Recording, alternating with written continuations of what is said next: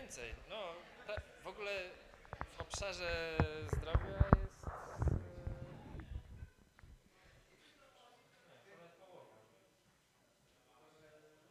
e, Raz, raz. Raz, dwa, trzy.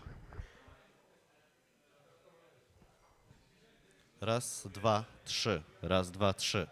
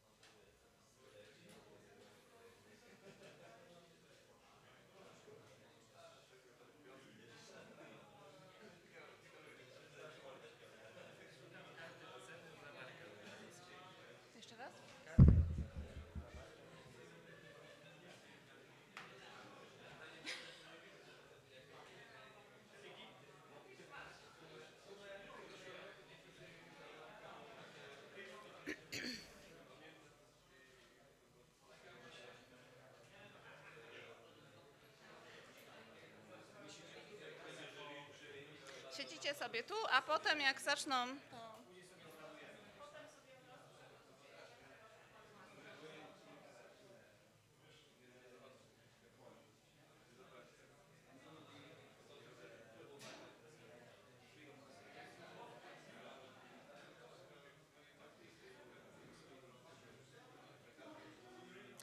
Okay, it's uh, past 12, so I officially announce this um, Quantum Hackathon work uh, ending, but actually the start of the most exciting part.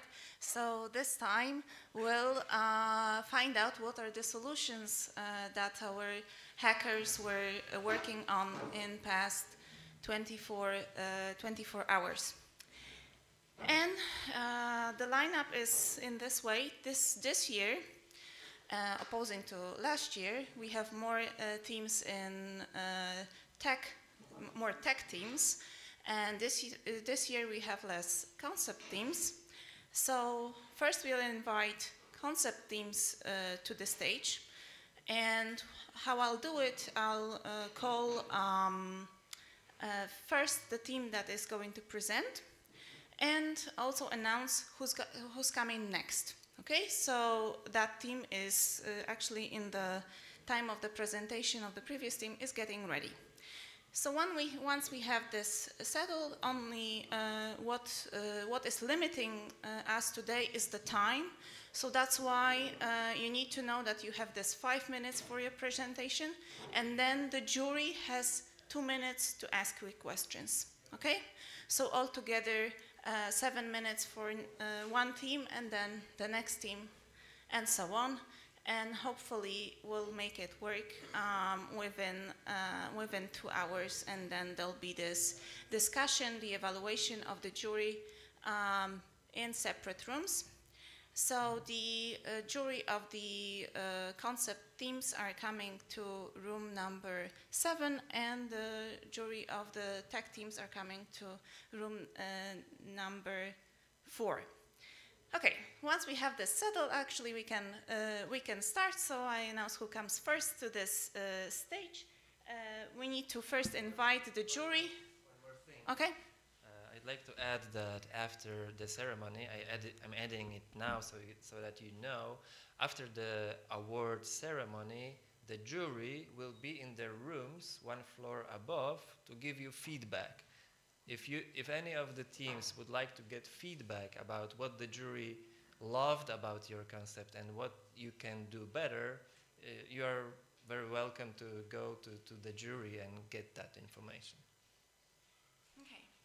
Uh, so now I need to invite our uh, members of the jury, and the jury of the concept themes are uh, Tomek Lewandowski from uh, Capgemini. Please come to the stage. This, this place is for you. Um, Tomasz Stopa from IBM.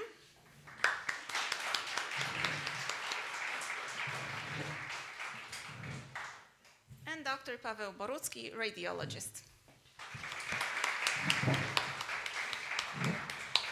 Okay, uh, let's this uh, award ceremony uh, start. I invite uh, uh, the first team, Stolik 14-14, to the stage, challenge uh, one.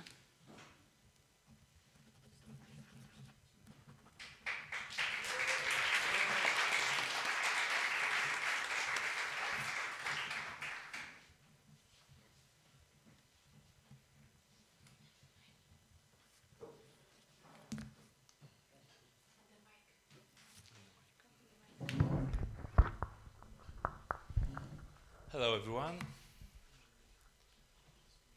My name is Tomek. This is my team, Jan and Kuba. We chose the first task by Orca. The subject is biological images generation. Uh, our idea was to concentrate on generating uh, cell images for uh, inquiring and uh, finding as solutions and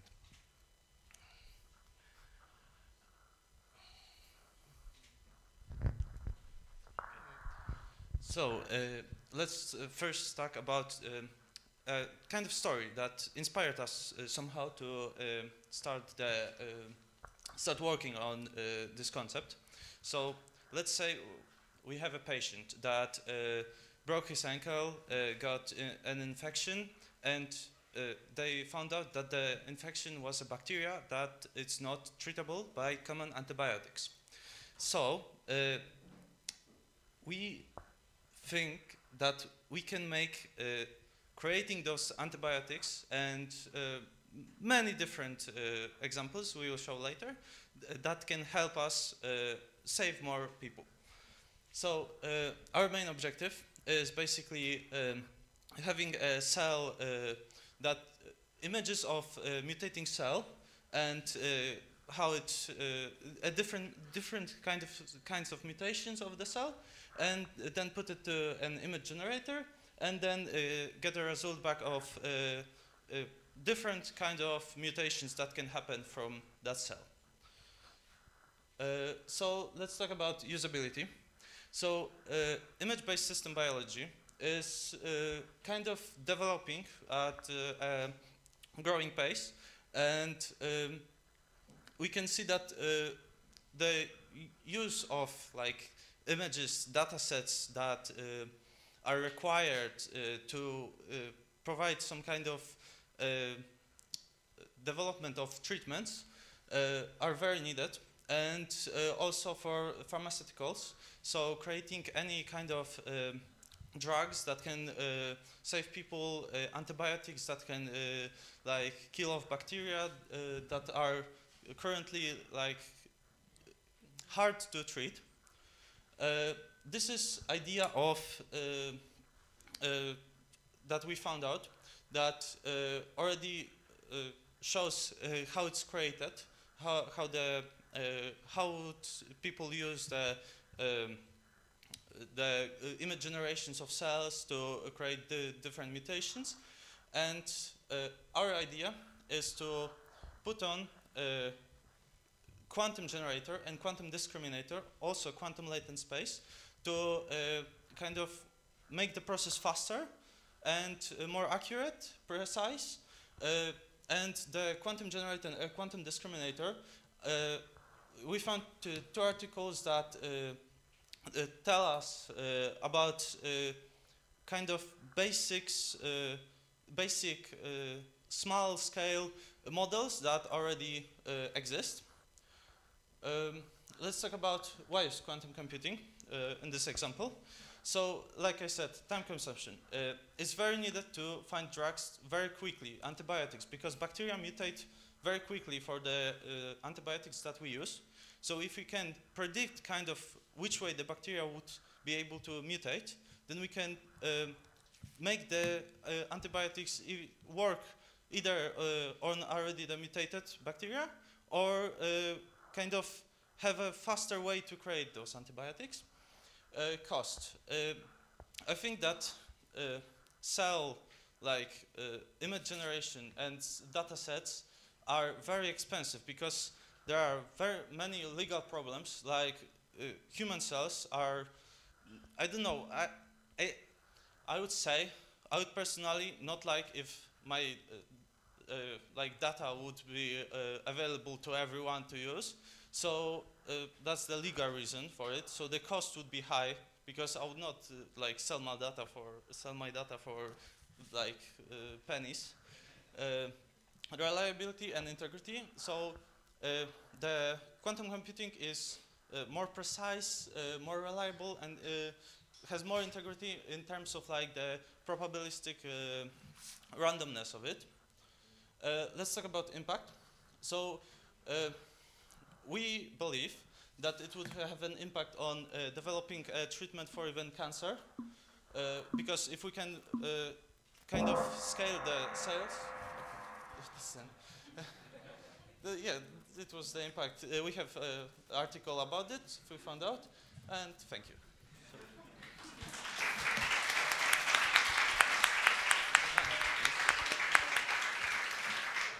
Any questions, right?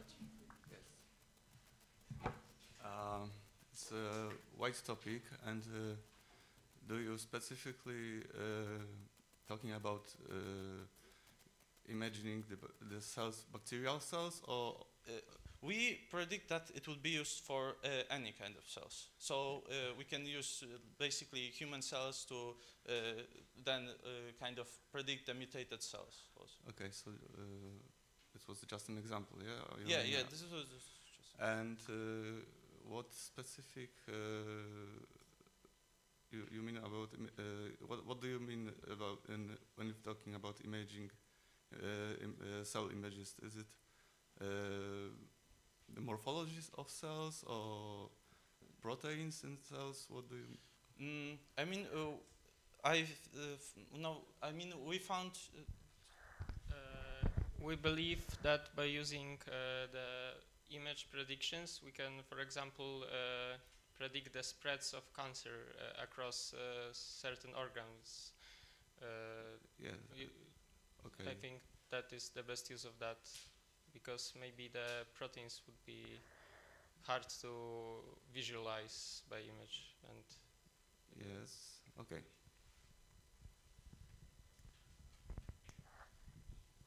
Uh, why can't it be done on a, let's say, regular supercomputer, or why do you think that quantum is better on that?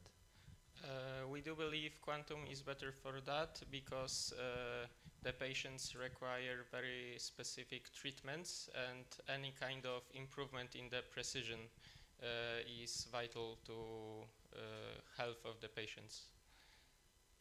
And uh, the data sets of uh, those images are really large and the computational power of quantum computers uh, is very useful in that task.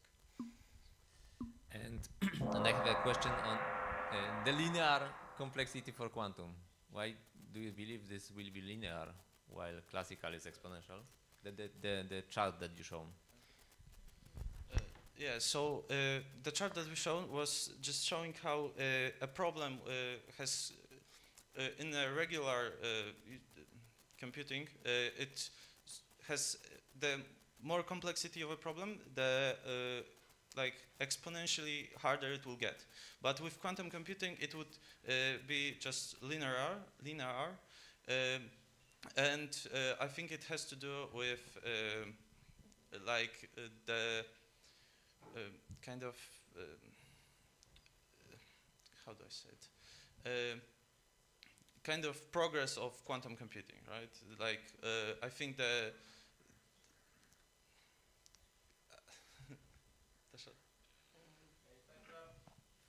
Right, time up. Th- thanks, guys. Thank you very much. Now I invite to the stage Entangled Friends, uh, addressing challenge two, and Quantum Lizards should um, get ready. Are they with us? Are Quantum Li- Lizards with us?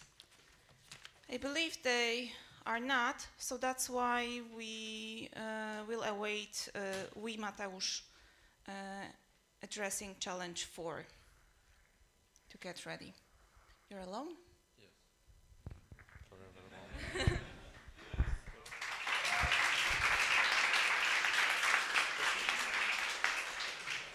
Um, I will try not to cry about this fact, but hi, I would like to present our conceptual solutions of the team uh, Entangled Friends uh, of the prob- uh, problem number two. So, uh, I am Ivan Dodenko. I do my first year in physics as MU, and my teammate uh, Michał is doing his uh, uh, last year in Master of Sciences in application Internet of Things. So, doing our research. Yeah. So doing our research, we decided to divide uh, this bigger problem uh, into two smaller problems. And first of this problem would be a problem th- that there are uh, overload in healthcare system. There are uh, pretty long queues. Uh, so and there are a few factors such as routing between uh, some specialists uh, and uh, poor self-diagnosis and uh, uh, and lack of uh, self uh, of people's awareness. So uh, how would we solve it? Uh, we propose uh, to create some online survey uh, so people could uh, insert, for example, their symptoms, their personal data, uh, and using some deci- decision-based deci- decision model, we would um, advise them, yes, you should go to specialist, you should call them, or no, stay home, everything's okay. So uh, how would we train it, and why do we need quantum? For example, we have some data like age, gender, lifestyle, etc. And before actually inputting this data to quantum computer, we would like to somehow um, preprocess it to reduce size of this data because uh, memory, for example, 100 qubits is pretty no, it's not uh, high amount of uh, high amount of memory. So, for example, we could use normalization, discretization, clustering, etc., and also use PCA algorithm to reduce the dimensionality of data. Uh, so uh, we would um, fit into memory bandwidths of uh, quantum computer like 100 uh, qubits although in a few years there would be thousand and then million qubits, so data would be more precise, there would be more uh, possible data uh, to input. So, and why uh, should we use uh, quantum neural networks? Uh, because uh, we expect them to be more precise and trained faster than classical neural networks. Uh, bec- uh, uh, yes, and because we have a lot of new data, new research data, we would like to train it fast, not like for 100 or 10 years, but for some, uh, norm- uh, some normal amount of time. Uh, so, and there are some pluses and minuses, like uh, quantum is more precise and is uh, probably faster training, uh, where, uh, whereas it's more prone to interference noise because of quantum decoherence. And classical computer, we have more common knowledge and algorithms, uh, higher availability, easier implementations, but we are uh, only limited to determined zeros and ones. So the second problem is uh, misdiagnosing. For example, in Poland, uh, in the USA, it's about 11%, and in Poland, it's 21% of mi- misdiagnosed people. Uh, and actually, it's weight of resources and time to cure such misdiagnosed people. Uh, so, what are reasons? Human factor, limits of human memory, and uh, uh, impossibil- and uh, impossibility to comprehend all the new research data. What's the example of particular solution? We would use MIT's IR imaging to get instant uh, images of uh, cancer or tumors inside our body, and we will do it actually uh, conservatively with, uh, without cutting anything. And we used uh, trained uh, decision model to extract data. For example, do you have cancer or or you don't? So let's use mid-IR imaging to create high resolution and instant images of, of this and use tra trained decision models as I said. And uh, what should we do? Uh, as this image is very big, for example, it could be like uh, 100 million pixels, we would clusterize it uh, and uh, then input every cluster into the uh, quantum computer. Uh, so we would be able to find uh, uh, tumors that are a few uh, micrometers um, in diameter. Uh, and what are the benefits of this? Uh, that we decrease workload for doctors, we have a faster and more precise diagnosis, and lower number of diagnoses. And why are we so interested in it? Because there are available technologies. Okay, this, uh, the, because there are available technologies in Poland, like at Warsaw University of Science and Technology, they produce uh, high quality and commercially available mid-IR lasers, and at PCSS they have quantum computer. So that's all for today. Thank you for your attention. I am ready to answer your questions.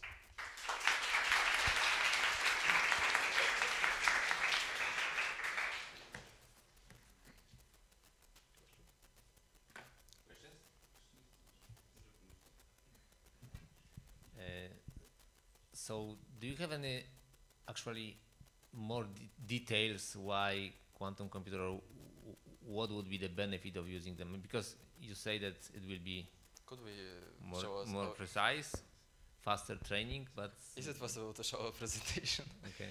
Uh, yeah, I mean, I would like to show because we have references. We uh, extracted it from our references. For example, it's also IBM's article about quantum computers, and um we uh, we expect that uh, working with uh, such a high amount of data uh, would be uh, fast, significantly faster with quantum computers, uh, as, uh, for example, uh, adding new parameters would uh, uh, Okay. because uh, for classical computers it will it will be exponentially growth, but for example for uh, uh, quantum computers it will be growth of some other function, and you know it's like would be uh, compa- compa- comparing millions of years uh, to some maybe minutes of seconds like in some other problems. Okay. Okay. So when when this will be possible? Is it possible now, or how long do we need to wait? I guess I should ask you this question because you're you're the actual expert, uh, but this is more like a conception. So when? this is my question, guys. Okay. Uh, So you said that uh, it will be possible to diagnose small tumors, but how uh, are you going to uh, extract them from patient? Because you have to extract them to, Okay. to know dia- the diagnosis. Okay, yeah, I understand you. it is possible. Uh, there are uh, technologies. Uh, they are non-invasive. Uh, they create instant images. But about extracting, for example, would be able to uh, instantly diagnose this tumor when it's uh, a few micro, uh, micrometers uh, in size.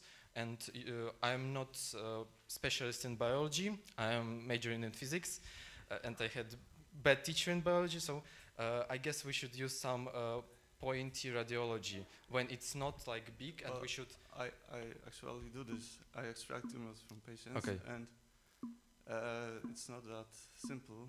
And so- not not every uh, small tumor could be extracted, but. Okay, I mean, from our references, uh, I saw that it could take uh, for two weeks to actually to diagnose this tumor. Like you should uh, you should invasively take it. You should uh, cut it. You should take uh, uh, a, a piece of uh, a piece of flesh, then cut it in a, in these layers that are less than 10 micrometers, and then under mi- microscope, some guy would, uh, for I don't know, for a week, uh, look through it. Whereas we could use uh, MRI that go in deeply in in our bodies uh, and then analyze it using uh, using quantum trained uh, neural networks. Thank you. Thank Thank you you. for questions. Thank you. Um, okay, uh, so now uh, we Mateusz, right? Uh, coming to the stage, and actually after this team, we'll start evaluating tech teams. So the first in tech teams would be the team Bartini. So please get ready um, for the stage.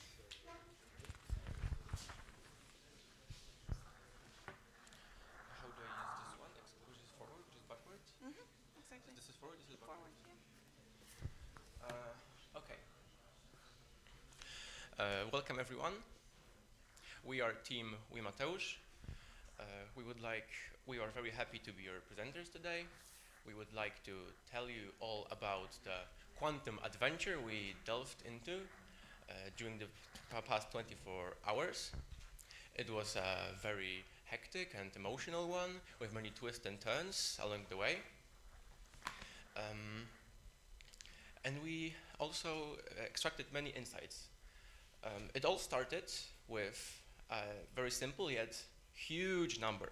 You see, very impressive 1.5 trillion. This is actually the number of parameters the largest state of the art machine learning models use uh, today.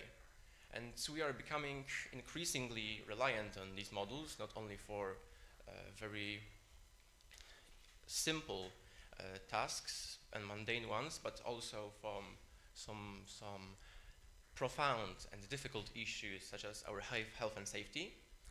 And as you may guess, models with such huge number of parameters are very difficult to uh, difficult to use in a sense that they are very expensive and they leave a long-lasting impact on the environment. And to this end, we decided to um, research how we could improve this wonderful piece of medical technology with the use of quantum computing. And well, uh, now you will have the pleasure of hearing all about it from my colleague. Please take it away. Thank you, Mateusz. So uh, we uh, thought about tackling the fourth task, the uh, medical AI assistant, and uh, uh, we hoped that our combined knowledge of physics and artificial intelligence would enable us to tackle this complex problem of quantum machine learning.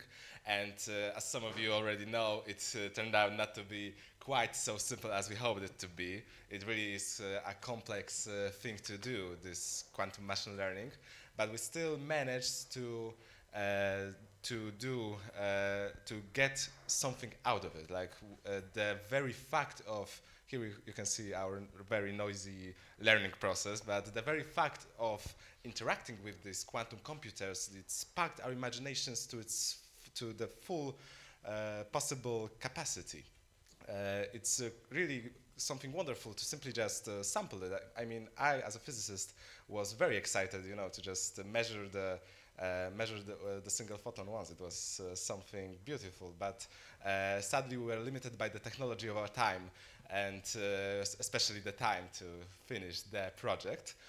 But the main task of diagnosing breast cancer via image recognition, it, it uh, sort of put us in the state of like, okay, we really liked uh, engaging with the quantum computer, and there is this uh, problem of uh, finding a way to sort of lift some weight off the shoulders of healthcare and uh, maybe helping people. So we thought, okay, uh, what is the other condition that could probably use quantum uh, advantage?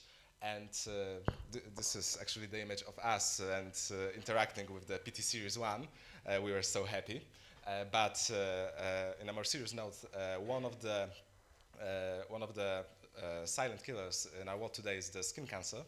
Uh, and that's because uh, many people who uh, have skin cancer, they sort of uh, don't take as seriously as they should. Because, you know, uh, when I have a mole, I don't necessarily already think like, okay, it's skin cancer, I need to go see the doctor. I'm, I may be too busy, it's probably just a mole. Well, uh, it's actually really hard to tell. Like, could you tell what, uh, uh, which one of these are simply pimples and which are the skin cancer? I couldn't. So uh, we think that maybe your phone could. I mean, I can envision a future in which uh, quantum machine learning could be used to directly, uh, as we directly coupled with the PT Series 1, uh, could be used to just take a snapshot of your hand and not necessarily go to the doctor right away and just uh, uh, see if you are potentially a victim of skin cancer.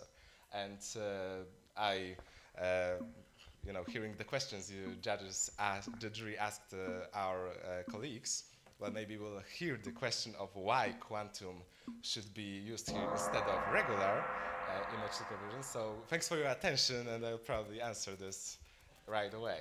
So thanks for the attention.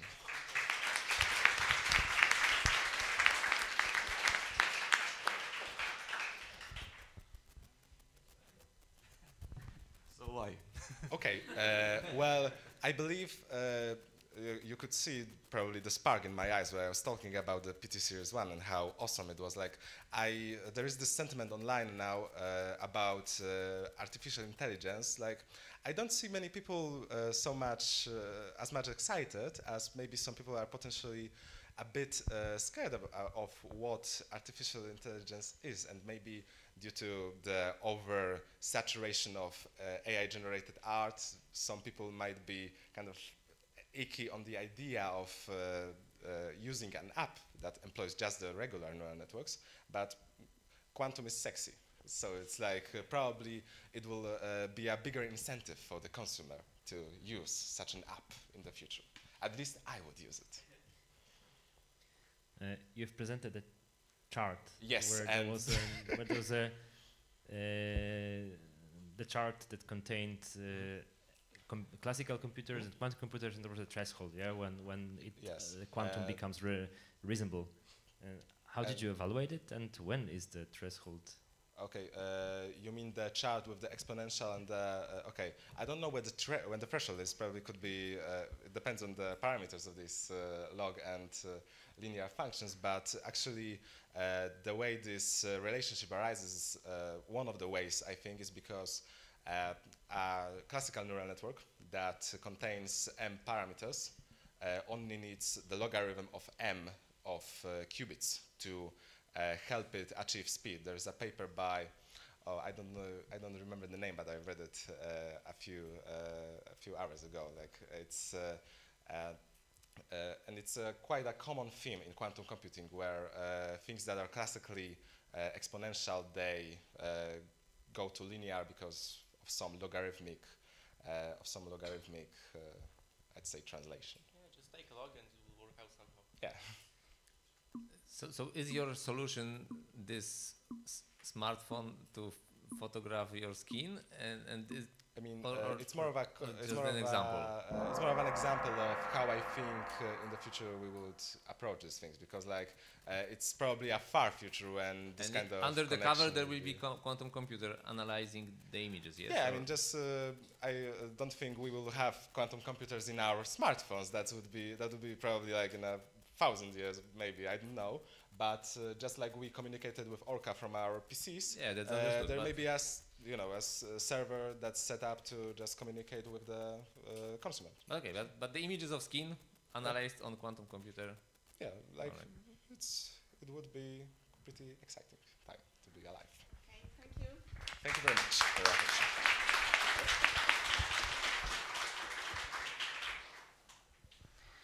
Okay, and this way we've uh, um, evaluated, we've seen the solutions of all of the concept themes.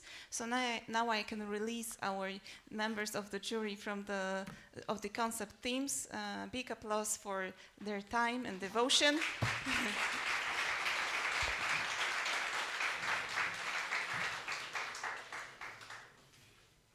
And we have place now for uh, the jury of the concept themes. And here I uh, call to the stage William Clements from Orca Computing.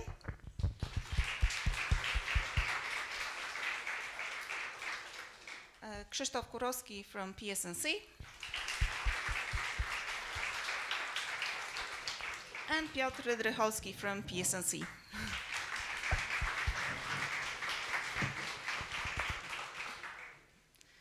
Um, okay, and as I uh, announced before, um, now uh, I'll invite uh, Team Bartini addressing challenge one.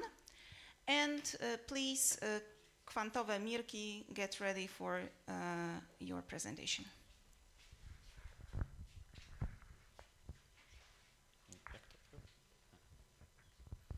Hello everyone. So the topic of my speech is the, the topic number one, uh, biological images generation. Uh, so start of the beginning, uh, what is fluorescence uh, microscopy is uh, one of the most important uh, method in biology, bio biomolecular biology. Because it's only one of this method, we can predict uh, how the molecules uh, will behavior in vivo uh, and dynamical structure in discrete time. Uh, this has um, a lot of advantages, uh, how the cost uh, and mm, the optimized method, but uh, has a lot of disadvantages because uh, we need to know how two molecules will interact uh, in, each, in each other and uh, the molecule can be diminished by the light what we need to use to fluorescence. So uh, our main goal uh, was that uh, in dataset uh, we were have given the pictures of cells and we must generate in our quantum model we must predict another cells. Uh, so we code uh, 24 hours uh, and uh, we code a, a solution. Yes, in the what is, yellow is reference protein, and the green we have in each folder. The green it means it's one typical uh, protein for each folder, and we must predict uh, how uh, the another proteins will behavior uh, in each of cells. It's uh, difficult. Uh, we start from the GAN algorithm, what is typical solution for this problem. Of course, it is cost a lot of complexity, a lot of time. It it must run uh, hundred or thousand times, so it's not as good uh, as we can think. Uh, we can substitute uh, for example, by CNN, uh, but it will not be so faster. It will not be faster. So uh, we must find a solution that will have be as fast as we expect. Because what is our mm, main problem? What do you think? If we have a date, uh, the date uh, we can predict. Uh, another date. It's not a problem. We have a lot of solution in nowadays. Uh, but the main goal is uh, what we must do if the date is not as well as we expected. It's not as big. Uh, we have only a few proteins and we know proteome of cell. The proteome is, I don't know, uh, 200 uh, protein and we only know from date uh, 20 protein.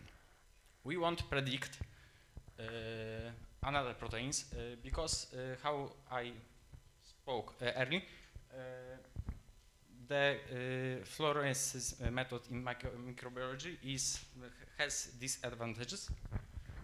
So it is not as well. So we use hybrid GAN. Uh, how uh, it works? Uh, it was on, of course, on computer with Orca. Uh, we have latent noise subspace. We have our generator, and we have uh, our discriminator and real data. Uh, we should know how it works. And in a typical GAN algorithm, we don't have this quantum noise. Uh, so only it's interact without the generator and uh, uh, discriminator. Uh, with the quantum aspect, uh, we use uh, quantum algorithm in this connection and with the latent quantum noise to make on smaller date prediction on the bigger date. Because without this noise, we are only looking uh, local, uh, not global for uh, all proteins in cells. Mm. Uh, we can use uh, quantum uh, methods uh, in next steps. For example, if we don't have as big data as we expect, usually nowadays we try by Gaussian kernel, and with quantum algorithm we can optimize uh, a lot of things. Thank you for your attention.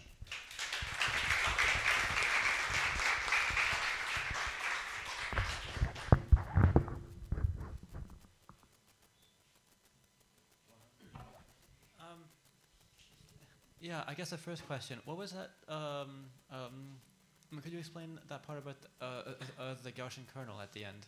Uh, yes, uh, in normal procedure, if we don't have a date, we have a small date than we expect. Use the mic.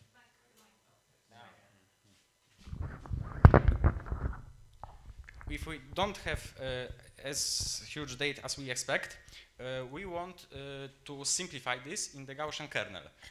It's a typical method in statistics nowadays. But quantum algorithms, what I know, it can help us to find a better probability uh, disruption of the connections of the proteins uh, in cell.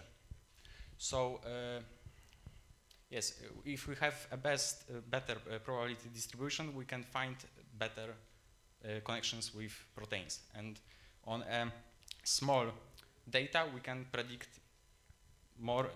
We can predict protein what our model haven't ever seen. Um, so more technical question: uh, Have you managed to uh, connect uh, remotely? Yes, uh, we make uh, algorithm that works. Uh, we have two versions of it. Uh, the first version uh, was not as well because we only use half of potential of quantum of computer of Orca. Uh, um, but it works. Uh, we, I, I have pictures, but uh, pilot is not working. Um, uh, uh, in these pictures, uh, when they are the cells, the first row was the train set, what is give us. The second row was test test set, and the last row was our prediction from our model. And we have we have code on GitHub. Yes. Thank you.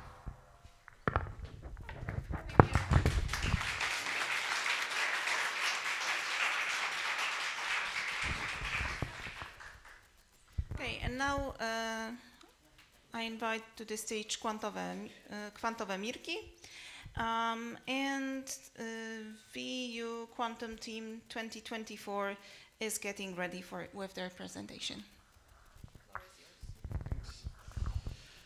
Hi everyone, uh, I'm here with my team from Politechnika Wrocławska, Jakub and Bartek. Today we worked on the IBM challenge and we know we all hate waiting in lines, especially when it comes to, comes to our health. So today we wanted to tackle the lines to the doctor problem. Uh, so we pretty much uh, simplified it to very simple, uh, very simple problem. The n is the number of doctors we have available. The m is number of patients that have sickness or something they want to consult with the doctor. The w is the weights, so corresponding to every um, corresponding to every patient, we estimate how long it will take them to uh, to be in the in the doctor and the x will be our decision variable which will tell us which patient will be assigned to which doctor. Uh, so how do we use quantum computers for this? Uh, we have to formulate a QUBO optimization problem and it stands for quadratic unconstrained binary uh, optimization. So we cannot have any constraints and our variable uh, have to uh, decision variable has to be binary. And how did we do it? Because we have the background of uh, solving linear problems first we wanted to uh, create the problem in classical optimization like linear one then transform it to the QUBO form and by the Qiskit libraries in Python, uh, transform it uh, by quadratic program and Hamiltonian uh, to the Hamiltonian and ansatz circuit to be able to put it on the quantum uh, machine.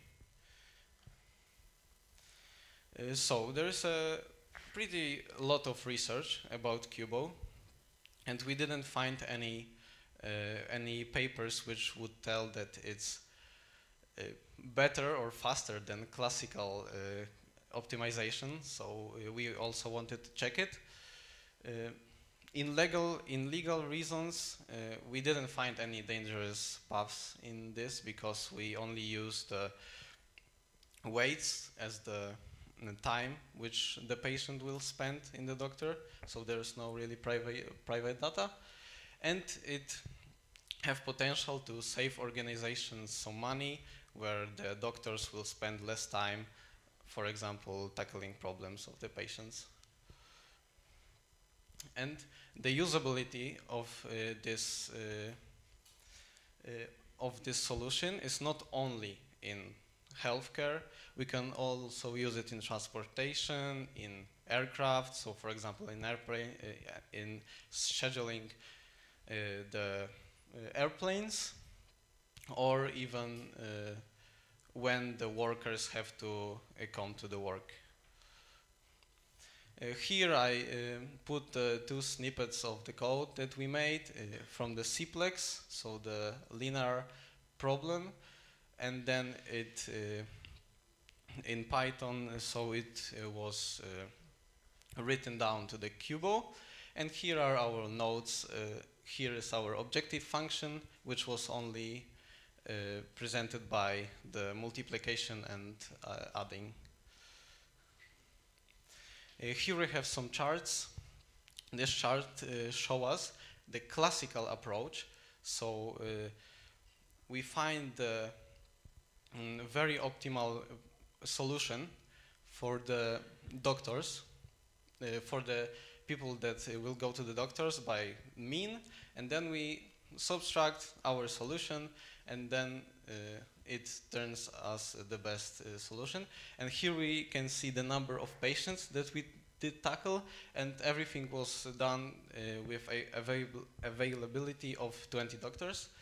And it was very fast, five seconds maximum for 400 patients, not really seeing any difference. And here is our C, also written in Cplex, but QUBO, and it was uh, really slower because we have to make more computations with those variables. Uh, yeah, and this was uh, in the output of the quantum simulator, and this was the output of the quantum or the real quantum machine. Here we can see our uh, solution. Thanks.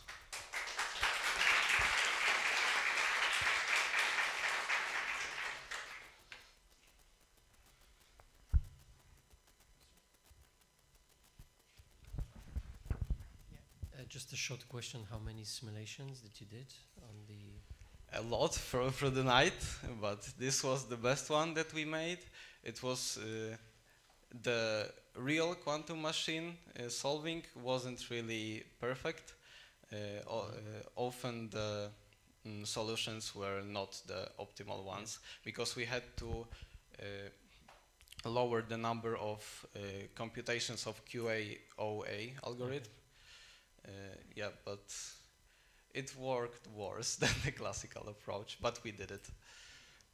And we hope that when we would have a lot of data, so many patients and many doctors, it would be better than classical one because we have the quadratic uh, number of uh, combinations. Clear, thank you. So uh, once you uh, have your problem formulated in uh, QUBO form, have you considered any other uh, quantum machine alternatives for solving your problem? Uh, no, we only did it in IBM. So then you should uh, double check the quantum annealers. Okay. Yeah. Um, what's the problem size here in terms of like doctors, patients, and things like that? And how does does that kind of s- If here the with number of problem was uh, very small. It was two doctors uh, and three patients. So uh, because on the bigger, we didn't have time to run it on the quantum machines. Cool. And so the, the, the, the number of qubits you would need is number of patients times number of doctors? Yes.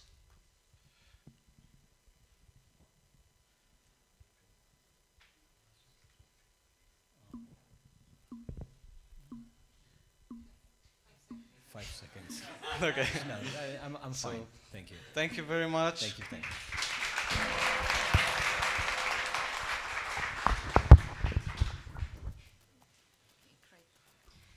Uh, now, uh, that was Kwantowe Mirki, and now uh, VU Quantum Team uh, 2024 is coming to this stage, so please, Wołowina 5 smaków, uh, please get ready for with your presentation. Both teams are addressing challenge number three.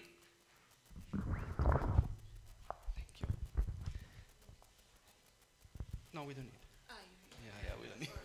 yeah, it's all right. So, good morning, everybody. We are Vilnius University Quantum Team, and today we are presenting you a product, actually. So, we, this is our uh, DNA analyzer. So, it's very simple to use, user-friendly, actually, even too simple. You uplo- uploading your gene that you want to check that is present in your genome. Then you upload your genome and um, you submit the data. That's from user point of view. Everything needs to be done, and uh, the computer might take a long time actually, uh, in terms of days, 20 days, something like that, at present time. But you know, uh, you will get your answer in your email, uh, no, inbox in 20 days and uh, for you it was just to upload the data. Our solution is based on uh, a completely quantum uh, algorithm that um, it's encoding in uh, angles the data that is rotating qubits. Then we are measuring, or like we are comparing the gene and genome point, like letter by letter, um, with control swap um, gates. This is allowing to measure on the ancilla qubit on top the probability of having overlapping between the two strings. You can set a threshold over which you have a match, so it's yes, the gene is in the genome, Otherwise, uh, no, it is not.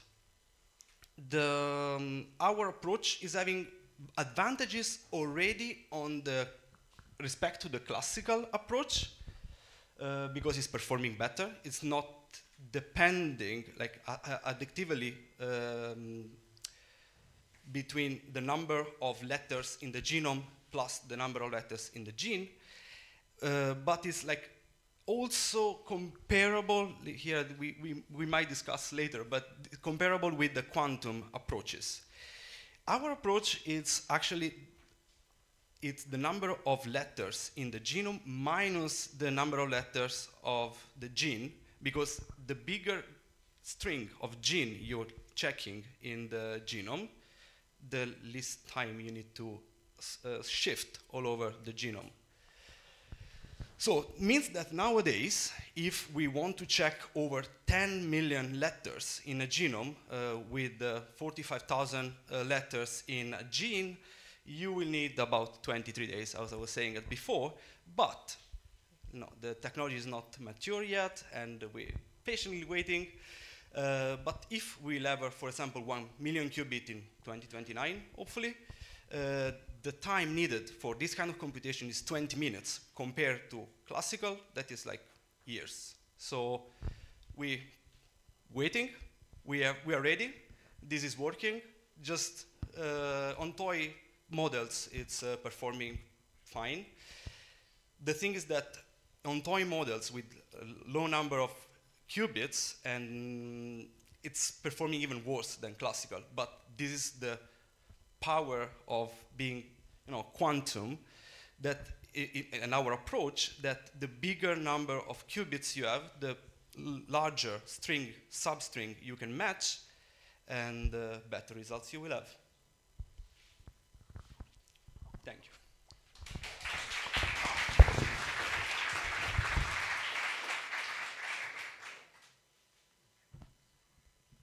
Um, thank you. Um, did you run this uh, in simulation uh, on a real processor? Like, what were the results like? I think that's the first question. Yes. And the second one is, what inspired uh, your approach, like that algorithm?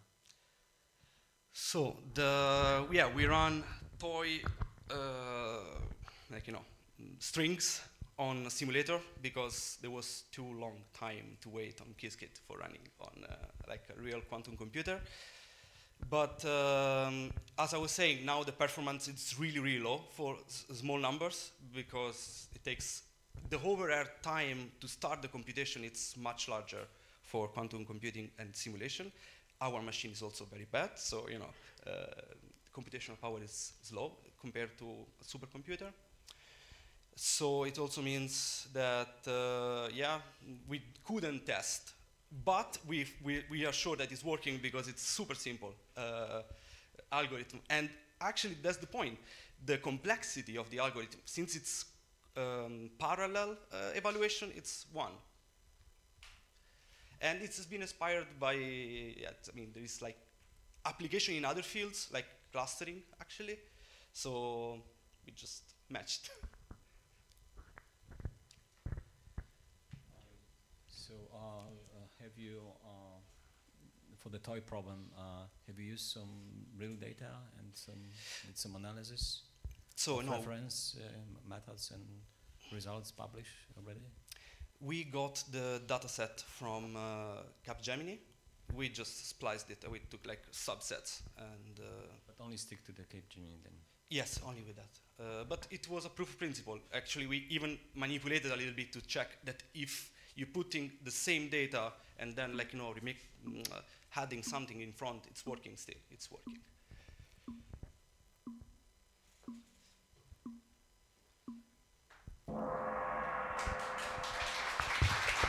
Thank you.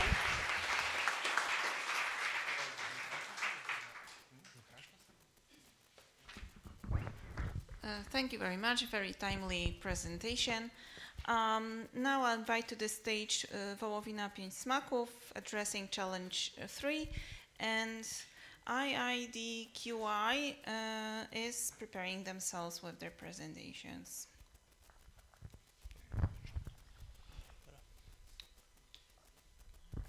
Hello, we are Łukasz and Marcel and we will present the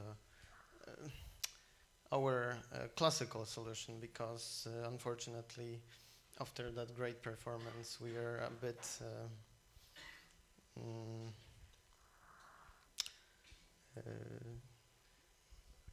Well, we sort of run out of time to implement the quantum part of our solution. Yeah, we- Um, we're also not that advanced in the Yeah. technology. We're just starting our uh, journey with the quantum computing.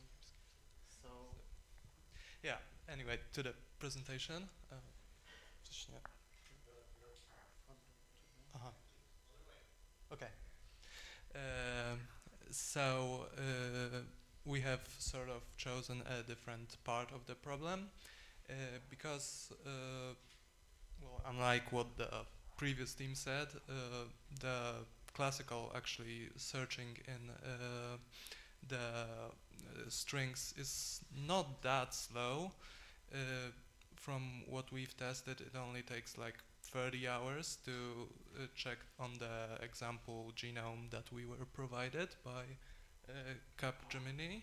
Uh, uh, so we have taken a different sort of aim. We have uh, we are trying to uh, see what is the uh, lowest amount of uh, inaccuracies in the genome, uh, so we can uh, optimize the certainty that the gene is actually there and it's not a different gene that's just similar but harmless. Uh, so uh, what we've tried to uh, in the we have uh, sort of made the inaccuracies in a function. So essentially, in the beginning, there are the inaccuracies that are too low to find a solution. So we have uh, given them like very high numbers, so they wouldn't be the minimum. And then there are the uh, from one point uh, when the inaccuracy is high enough, so we can find any solution. Uh, the uh, inaccuracy drops down to the lowest inaccuracy, and then uh, if we incre increase the tolerance, uh, it will just find similar genes that are earlier on, but have uh, more inaccuracies in them. So uh, we have analyzed sort of the market uh, for what is being done now. Uh, so uh, the problem, main problem with the classical approach is that it only returns the verdict. So it's just like a zero or one value of if the patient has the gene or not, which is not really useful to doctors because it can just be a false positive. Uh, and he wouldn't know if the algorithm is actually certain that uh, the patient has the gene, uh, or if it's like barely uh, up under the threshold that uh, the that has been set. Yeah, so we analyzed the mm, well-known algorithms for uh, string searching, uh, and uh, we uh, choose the Knuth Morris Pratt algorithm because the Boyer Moore doesn't really fit this kind of uh, problem with the inaccuracies and uh, and this alphabet containing only four letters and yeah the naive approach uh, is uh, just yeah very slow uh, we studied uh, the provided documents the, the, the YouTube video and for uh, like a full uh, quantum uh, solution, it would take many bit, many qubits. Then this will cause the the noises and all all the all the problems that we are fighting now. Um, and we decided to maybe, uh, but we didn't manage to do this, uh, get the quantum computer to optimize these classical uh, solutions. We just didn't make it in time, really. Uh, so we wanted to. So this is the result on the test uh, because we wanted to compare it to like uh, blood tests, so that uh, it just gives like a number of certainty rather than just the solution. So uh, the doctor, a specialist, can just decide if the patient has the disease.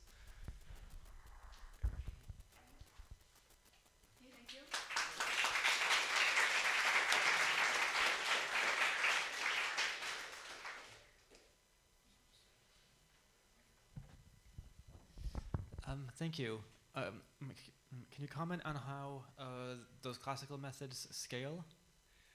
Uh, yes, of course. Um, uh, the uh, Knuth Morris Pratt uh, is actually really, really fast, but uh, the weakness is that if we increase the tolerance for error, i- it slows down. So, uh, for when uh, there is no tolerance for error, even the large whole genome, it's sequenced in like seconds but uh, when we increase the tolerance to like 10% of the uh, searched string, uh, it it would uh, have taken 30 hours, but we were lucky that uh, the first patient actually had it in the beginning, so we found it faster.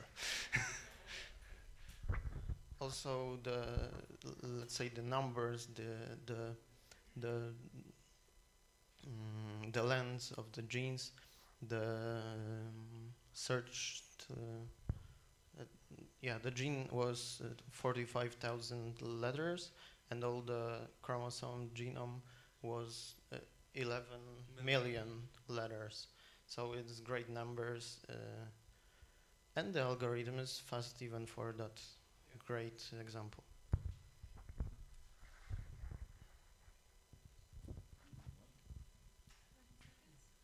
Uh, so have you considered uh, the hybrid uh, classical quantum uh, algorithm for this for solving this problem?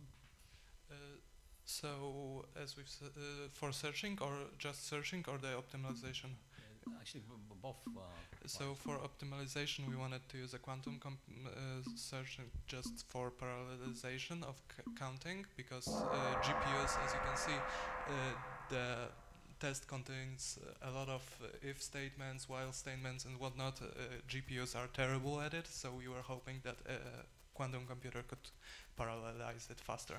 Okay, thank you.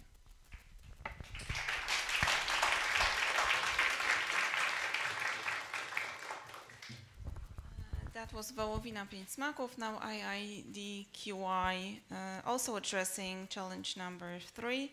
And the next uh, is getting ready, get real. Also addressing challenge number three. Thank you for the introduction. Let me first thank the organizers for opportunity to be here. Um, yes, um, so uh, the team represents Institute of Informatics Division of Quantum Information at the University of Gdańsk, Leonard, Jan, Marek, and me. Um, it's exciting to really try to map. I mean, we are almost zero in that, uh, in mapping uh, quantum to, to um, I mean, classical real problem to quantum. So uh, we hope we learned a lot here. So the challenge was by Capgemini, like it was said. The problem is that we want to find a pattern that indicates that someone is uh, uh, vulnerable to anemia in the genome sequence, and and the why. So uh, who is looking for the speed up? Surely the healthcare. Um, well, the biologists, of course. Um, maybe all of us, taxpayers, but surely quantum enthusiasts, mathematicians, computer scientists. So there are a lot of reasons to uh, to look for this problem. And before I tell you what's the state of the art, um, there are three important numbers. The n, is the length of the sequence of the genome, then m is the length of disease pattern that we're looking for, and we allow for uh, mismatches up to k mismatches. So the pattern can, uh, the slice of a genome can differ from the pattern by at, at most k mismatches, which is encoded by this Hamming distance threshold. Uh, we looked through the literature and um, regarding machine learning, it's just heuristic. We don't know how, how fast is this, but re relating to the standard approach, um, we found a quite recent paper from 2020 that uh, does some the others do some breakthrough. They have n plus, uh, roughly speaking, n times square root of m log m. Remember, m is the pattern length uh, of complexity, time complexity, and we focus on the paper by Sarkar et al. And where um, uh, the complexity is n plus root n due, to Grover algorithm plus a function of m that depends on your implementation of a weighted adder. So we use Qiskit. Weighted adder there is really like exponentially blowing. It's not a very good implementation. I, I apologize for that. But in the literature, if you pay uh, for, if you're able to have more qubits, then you can have uh, f of m to be like uh, square of m, and perhaps times log n if you take into account uh, the integer uh, uh, comparison that we use in the algorithm. So uh, I would like to highlight that actually in this paper by Sarkar et al. they claim to have this Hamming distance problem within this, but they don't show the how, how to do this. So to wrap up, the, what was indicated by other groups also that per perfect pattern matching is there's no quantum advantage because you have to log the data. Loading data is O of n. Thanks. There are classical algorithms that do in O and time for per for perfect matching, like the one that I showed you. However, for imperfect pattern matching, uh, we see that there is a road ahead. I mean, if we have more qubits, more gates, there will be a quantum advantage in, in the end. And so our contribution was to first to prepare the data from classical to quantum. Then the novelty is to putting this explicitly how to encode uh, the Hamming distance between pattern and the slice of, of genome. Uh, and we encode it into one qubit, and then we apply this one qubit to the Grover algorithm, and we find how uh, what's the, the result. We implemented that in Qiskit, and uh, here's the exemplary circuit. We did not with letters, but with just bits for simplicity. You have a bunch of zeros, triple ones, bunch of zeros, and you look for pattern 111. So we accept the uh, no mismatch or one mismatch at most, and you see that the strings that you look for are 0, 1, double 0. Here, this middle, the pointer doesn't work, sorry. Uh, so the, the, three peaks are really the, the, the peak at the sequences, subsequences that you're looking for. Um, uh, this is for the, this example. And um, here's the circuit. So the first part is the state preparation. Like I said, this is loading data. It always takes time of n. Then there is this weighted adder, the first uh, purple block. Then there's comparator. We have to check whether we are uh, beyond the 10% uh, threshold. The threshold was that we uh, allow for 10% of mismatches. Then there's Grover algorithm, and you, you measure and kind of you are done. This is kind of beginning, then you should go from this to the letters, HCTG. And um, yeah, and, and we did it on a simulator, of course, because we were aware that on a real computer the noise would kill the results. Um, and, and we did it on a simple data because there were like too many of those to even load. And with that, I would like to thank you for your attention.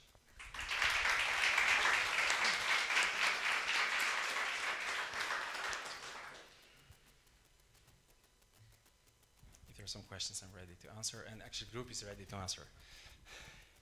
Uh, thank you. Um, what what type of noise did you implement in your simulation? There was depolarizing noise. That was, that was, it was just to simulate that in real experiment you will never have just exact peaks and never zeros. It's, it's uh, th thank you for your presentation. Um, you did uh, quite impressive uh, state-of-the-art analysis. Uh, so um, you, you showed some, some papers, uh, especially recent uh, papers. Uh, what are the conclusions in the context of the kind of prediction for the imperfect matching algorithms? When, when, do you think will? there, I mean, this was a surprise to me. We all know these uh, Knuth Pratt and Maurice Pratt algorithms and so on. Um, this is 2020. Like they say in the beginning that we are back to the old problem.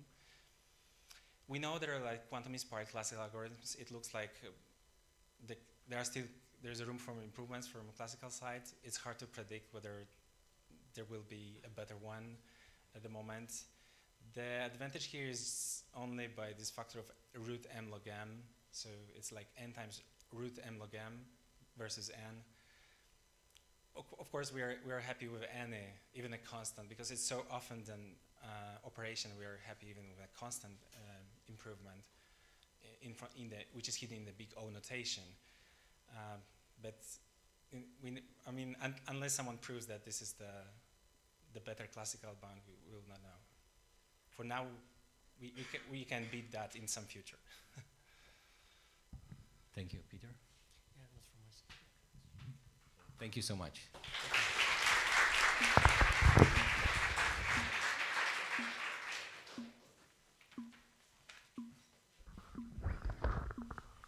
Okay, so that was IAQ DQI, and now get ready, uh, get real. Sorry, get real.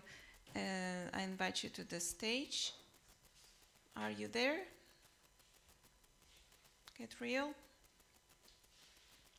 Okay, now so businessmen should be the next team uh, in the lineup, and I've got Jeans is getting ready with their presentation. Uh, businessmen are also addressing challenge number three.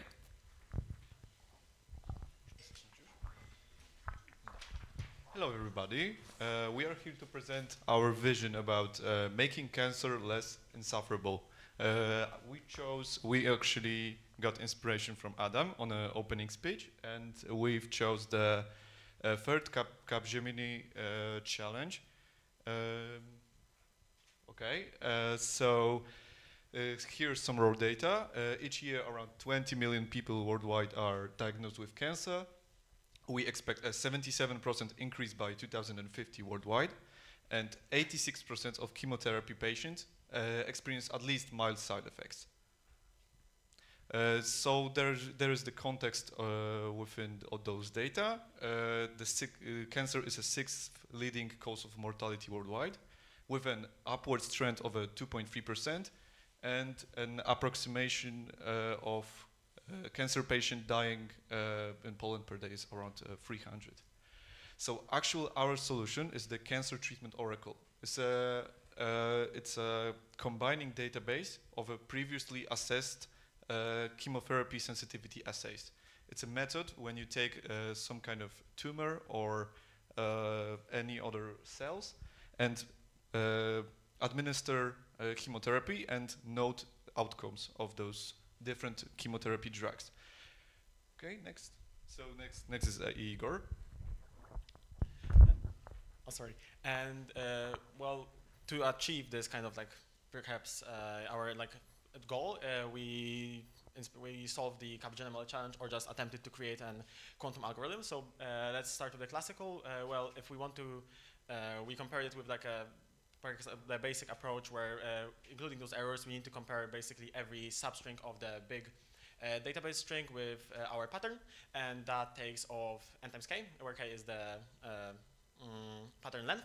And then our quantum algorithm, we managed to create a quantum algorithm uh, that works on uh, like very small toy examples. Uh, here is sadly kind of uh, not in high focus, uh, like the circuit that works, it has like 18 qubits and works for a very small example of like uh, a pattern of, I think, uh, five bits, uh, I mean, like five bases and uh, like a 200 mm, mm, base uh, uh, database. Our algorithm uh, first takes uh, oven time over uh, encoding the uh, quantum state. It takes indices of, uh, it uh, entangles both indices and uh, the kind of uh, subpatterns uh, and to create uh, mm, like this entanglement with indices pattern and then uh, the actual uh, substrings of the database. And then we use Grover search uh, with O of n over k where k is the kind of uh, amount of errors we accept. And uh, well using this Grover search we get one, uh, one like one result with like the allowed number of errors that we kind of input to the algorithm.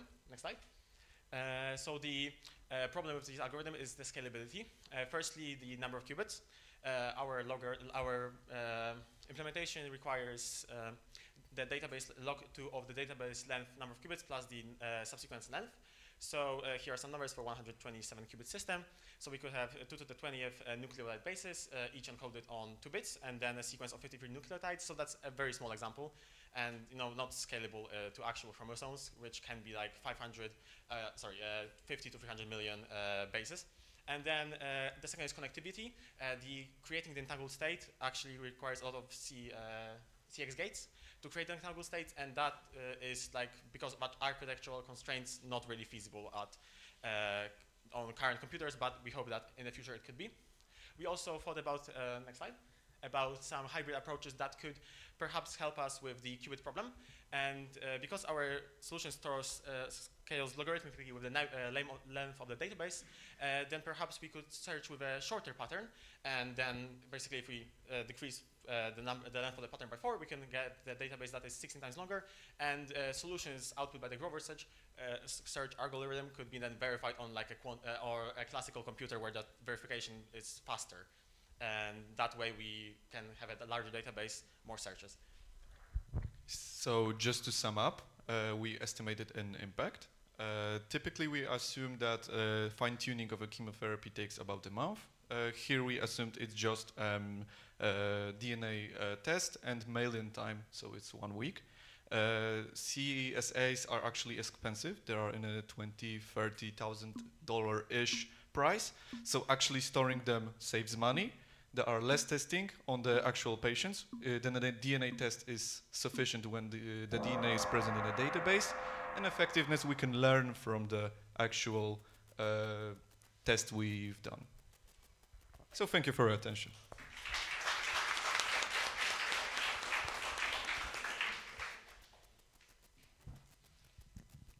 Thanks for the presentation. So you mean you presented the toy sizes. Do you, mm -hmm. Can you comment just uh, exactly the sizes that you analyzed? Uh, well, what we could run, we didn't, we didn't manage to run on the actual quantum machine. What we could run on our like computer, I, we yeah. had we tried to do a simulation overnight, but my computer crashed, so that kind of didn't work. But we uh, had like good results where we had like a hundred 28 uh, length of the actual sequence, like the input mm -hmm. sequence, and then uh, I think we did 16, so that's uh, eight uh, eight bases for the pattern, and that was like uh, that was uh, we, we, on that on that we could easily see like it actually worked. Like you had a Hamming distance of one or two, or how much was actually like uh, put there. But transpiling the circuit and actually like creating a model that could run took so much time that with bigger well, it was hard to like simulate and do it on like a laptop. Yeah, clear. Thank you. Uh, thank you. In the estimated impact slides, what are the assumptions that went, went behind the like one month versus one week and uh, thousand uh, dollars? This is just simple assumptions. Uh, how actually, if you are treated weekly, uh, I've assumed that you need four appointments at least to calibrate chemotherapy, and with uh, cutting time by quarter, I thought like the DNA testing might be sufficient, and there is mail time counted in and compute time counted in. So um, you mentioned that the, the connectivity, the architecture uh, is a kind of problem.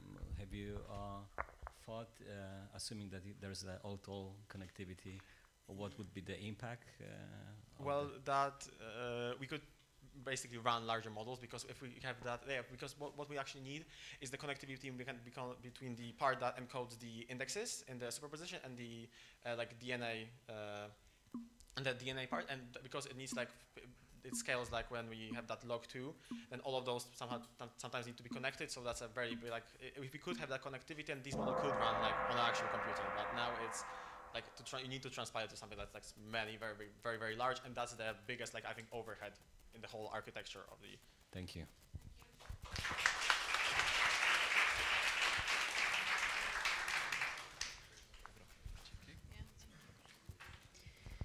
Okay, now uh, I've got Jeans uh, is invited to the stage and Cubism is getting ready with their presentation.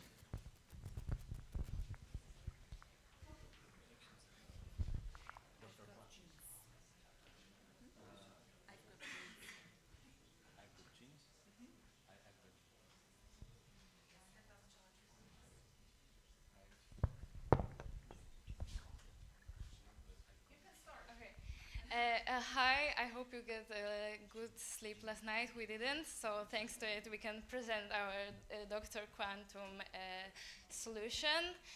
Uh, I am a bioinformatics student and my colleagues study artificial intelligence. Uh, why we choose this? Uh, because we have many important uh, women in our lives, and every 14 seconds there's a chance that one of them gets uh, diagnosed with breast cancer, and those aren't uh, early dia diagnosis. So we want to speed them up because the earlier you detect it, it's you get better results with the treatment.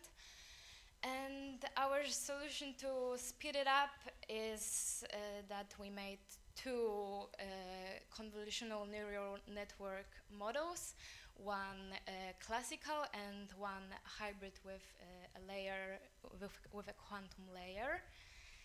And fortunately, uh, the results were very good. Our uh, quantum model uh, was significantly better performing uh, and also over 10 times smaller than the unit-based solution, which makes it more uh, feasible to implement and also potentially less uh, get have less impact on the environment. Um, so thanks to this accuracy and uh, if we use the quantum uh, model instead of classical one, we could potentially save thousands of lives uh, just getting the results faster and better. Uh, and because if we get the results, it's, it's not always perfect. We still need the medical staff to make the diagnosis. Uh, so to make it more usable for them, we created a graphical interface, a very simple one. You just upload image and you got the uh, analyze uh, what the classification, the classification of it. Here are some sources we got inspired from uh, to make this uh, happen and I would love to thank you for making a cool future with us.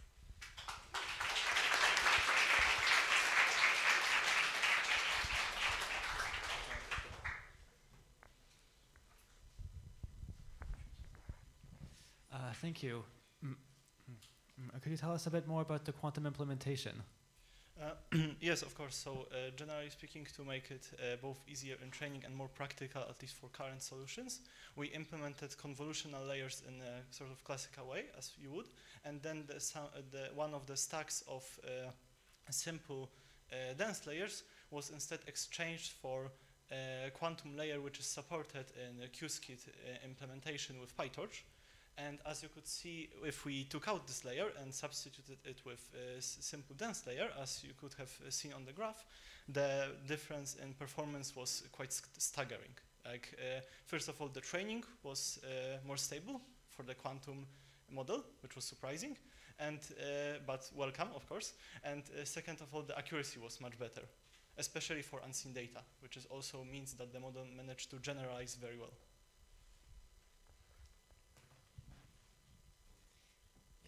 Um, more or less the same question regarding these simulations. Uh, how many more or less simulations that you did for this?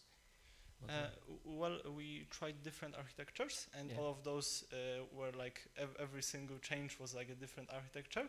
I think it's uh, like we changed some small things, stuff like that, but the training process itself was uh, handled by uh, PyTorch. So that was like about 100 epochs with like uh, all the training examples, so I don't remember how many that was in total, but I think uh, yeah, okay. yeah, a lot, basically. Uh, um, the, the, graphical interface, uh, did, did you did you manage uh, to prototype this uh, during the hackathon? Mm -hmm. Yes. yes. Okay. And it's available. It's available on our GitHub. Okay. Thank you. Yeah, and I guess a bit more about the quantum implementation. Like, how many qubits was it? Like, a little bit more about that model. Uh, I think it was. I would have to uh, re recheck it because, as I said, there were a lot of like, different versions. Uh, I don't remember which one was the best one, but I think it was relatively small, so like three to four input qubits in like the quantum layer, and then we just changed that to uh, like the bef- and after that it went into uh, the classical dense layer. And because there was so, so few like qubits, but it was still important, but was because it was next to the last classification layer, it helped a lot. Thank you Thank you so much.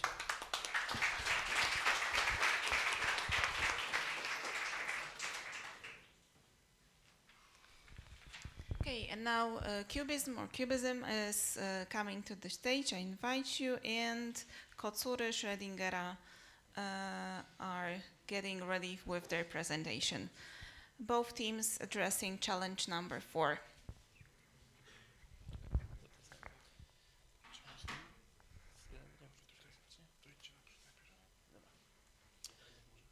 Okay. Uh, hello, everyone. Uh, today we prepared a presentation about uh, uh, challenge uh, number four, uh, Quantum AI Doctor.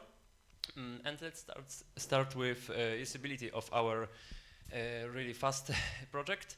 Mm, first is uh, improved diagnostic uh, accuracy. Mm, it's uh, better when we use AI to make medical diagnostic. Mm, personalized, personali- personalized treatment recommendations mm, based on unique medical history of every patient. Mm, cost-effective uh, healthcare solutions, of course, uh, really important, and uh, accessibility of medical expertise uh, in uh, any regions. Okay, so to the bottom you can see uh, the table comparing the classical and quantum computing, and to the left there are uh, different mathematical functions uh, for the classical one, and, and you can see, as you can see there is matrix inversion, eigenvalues uh, decomposition or fast Fourier transform, and to the right you can see the quantum equivalence of those. And uh, comparing those two, we can see that the classical functions grow much faster. Okay. So here we have a quantification information. So uh, we compare uh, classical and quantum computings, and as we can see, the more data we provide, uh, actually it's better perform. Uh, it's in some cases, the classical computer can't even process the mm, the, the data because um, it's exponential function when uh, the So what we did, we prepared the workflow, which integrates uh, high-dimensional features into different components using PCA, uh, which can then be fed to uh, both the neural network and the quantum circuits, which mimic the neural network. And those are the components described here. Uh, as you can see, it's just a linear combination of all possible. Then we created a uh, feature map out of these. Mm, which was fed into both quantum circuits, Q, QCNN in this case, and just regular PyTorch uh, CNN uh, to compare the results. This is the design. As you can see, we uh, expressed. Okay. yeah, that's important. Uh, we provided convolutional layers and pooling layer, which was uh, predefined in Qiskit uh, documentation, uh, which entangle some of the qubits, increasing their expressibility, so amount of information which can be embedded um, inside each qubit. Okay, so why we did that? Because all, a lot of medical data, this is uh, an example from electroencephalography. Uh, it's a time series electrical potential on the scalp measured from electrodes. And the features which you can extract are very high dimensional. This is just a 3D projection on a flat screen, so it's not even showing the full picture. But in the end, you can express it as a feature map. So effectively fit it to the uh, small amount of qubits uh, and express as Z feature map in qubit state. And we found a paper which clearly suggests that you can cleverly design the quantum gates in a way that increases the expressibility, so the amount of data from the features which can be embedded in each of qubit. So uh, in the Hilbert space, constrained by our loss landscape, we can effectively embed more information. And in the end, we successfully uh, managed to run our workflow, our circuit uh, on IBM Computing Service on the quantum computer, and we got promising results. It's uh, actually it was faster than the simulator, which was surprising, and yeah, that's it.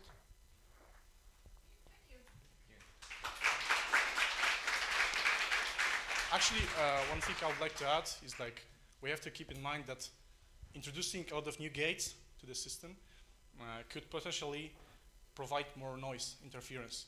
So there are some methods like ensembling qubits and then voting, so a few qubits vote in parallel to be a virtual qubit, which could effectively uh, decrease that. And yeah, and there's the bibliography.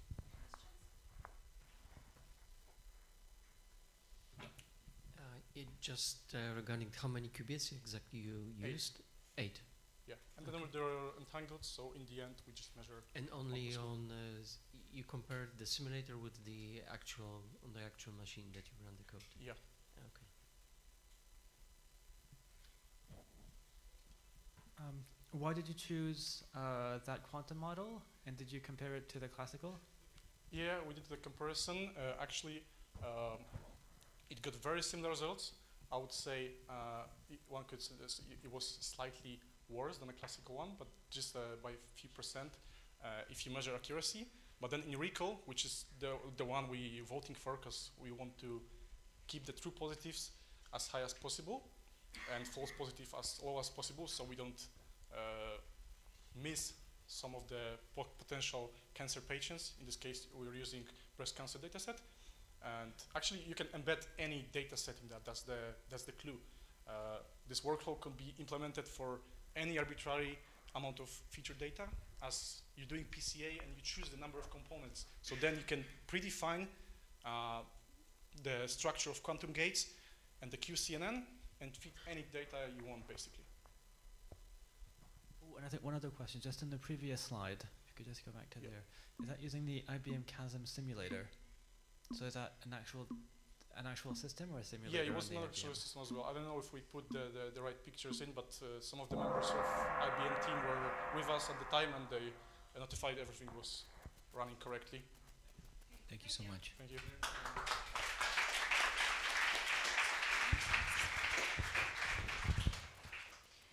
And now uh, I invite uh, Kocury Schrödingera uh, to, the, to the stage.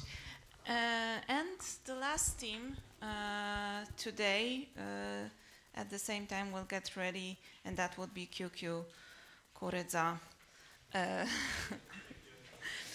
and this one, this team also addressing challenge number four.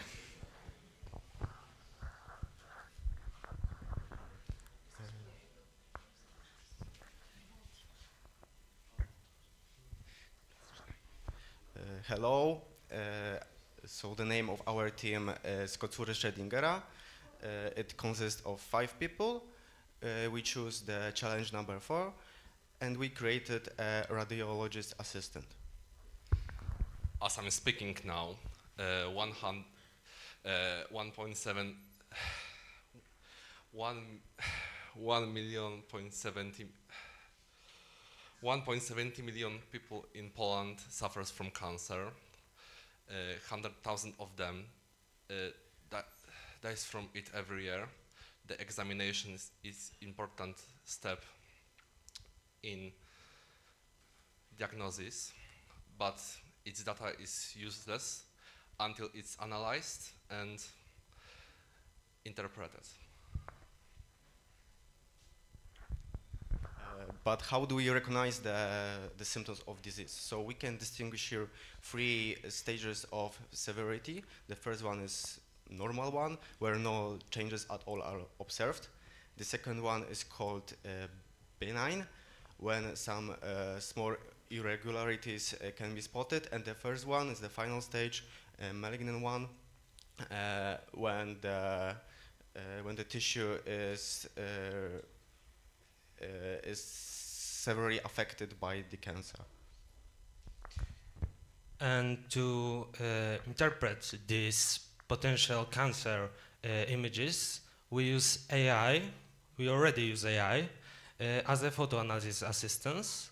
uh, because AI can detect medical image anomalies uh, by using deep learning, uh, deep learning, uh, which uses neural networks that we focused on uh, to learn from uh, from large amounts of data and make predictions. And when you hear large amounts of data, you fairly it fairly comes to your mind that it probably needs to uh, to be analyzed a lot of computation, and we focus on this to uh, let quantum computing step in and boost this interpreting. When it comes to the actual interpretation, um, actual way we were classifying images, we were using the neural networks both quantum, both with qu on quantum computer uh, in uh, quantum computer uh, optic, and uh, in quasi and classical neural networks, both um, simple and convolutional. Uh, sadly, we didn't have time to make the hybrid uh, um, approach we wanted. Um, but uh, we were able to compare uh, both uh, simulation, uh, simulation and actual um, work on the real working computer. And the computer is um, working with uh, qubits and not actual qubits, and it's designed mostly mm, to uh, the, the problem of actual mm, neural networks uh, simulation. Uh, here's a little code that um, way that we will do this. As any project in data science, we you need to collect the data, you need to generate the data, not generate but process the data to be to be okay to use, and then um, we need to construct the model. We have at the other side our model that we used for the computation. Um, yes. And here we have a comparison of uh, simulator of uh, PT computer, uh, PT1 computer that uh, from ORCA that we uh, use to do it. first with simulated quantum layer and without simulated quantum layer, just classical computation. And as you can see, there is there isn't any difference differences, but when we compare a classical versus quantum uh, computer, uh, as you can see, uh, please look at the chart scales, lots of functions in every measurement is uh, much less in the quantum computer than in the classical compu uh, computer it is done, uh, even for a so small processor that we are working with.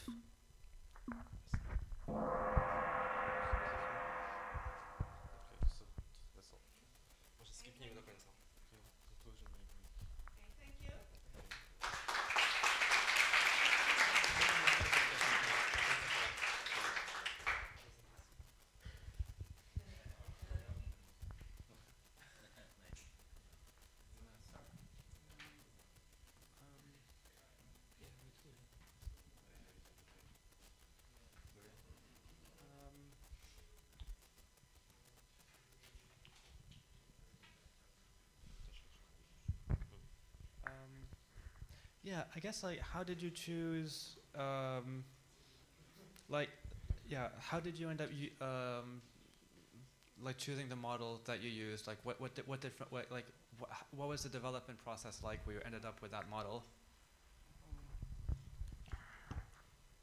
Um, let me ponder a bit. Mm. I think mm, mm, Mm, the very start, uh, we were wondering um, how to um, reconcile uh, the image uh, processing with the quantum computing be because when it comes to this actual computer, it's really hard to connect the real, um, um the um, one of the most used and efficient way of computing the um, images, data in neural networks in the two-dimensional structure because um, the computer is not really obviously uh, meant for the two-dimensional layers.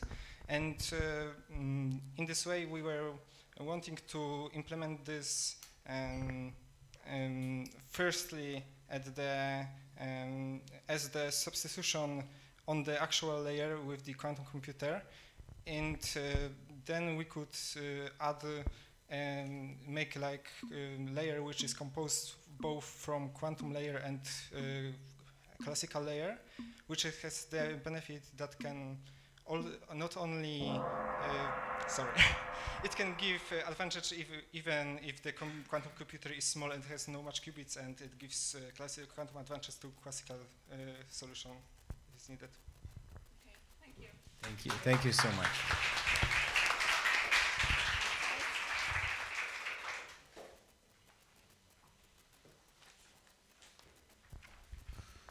And we're almost at the end, uh, so this is why I invite the last team, Kukuredza, uh, addressing for the first time challenge number five.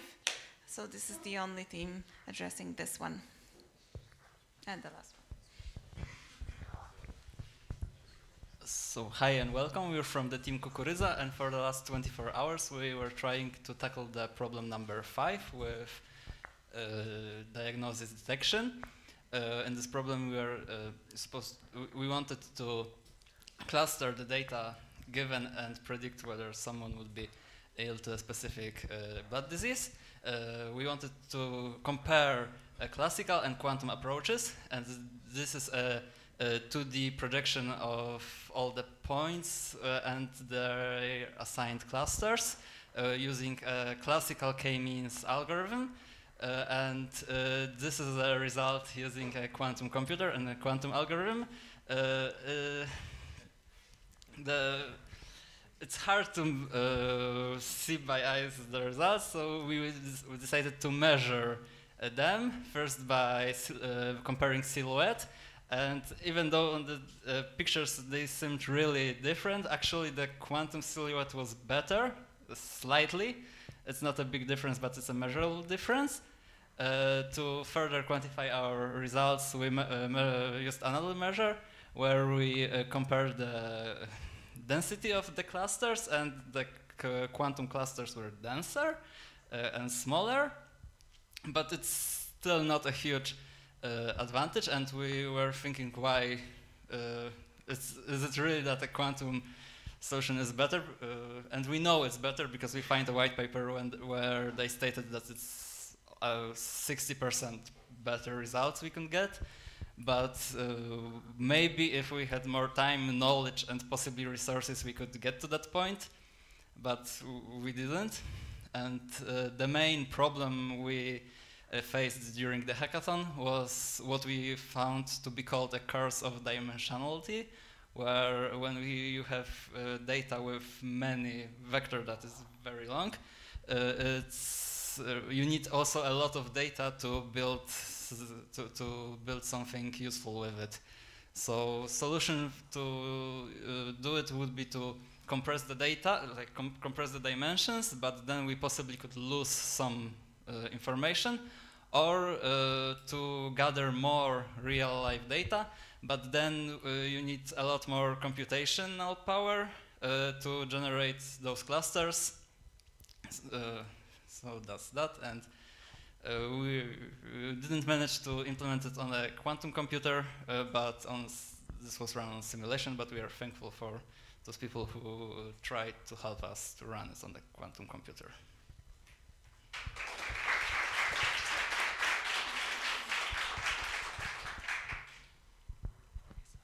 Uh, thank you. Could, could, you say more about uh, uh, uh what, what, quantum algorithm you, you used and um, how you implemented it? Uh, well, it was the default uh, clustering uh, quantum algorithm from uh, Qiskit algorithms. Uh, it was pretty heavy. We couldn't run it on uh, any CPU. It was available to us. So we ran it on a Google Cloud machine on a tensor processor unit.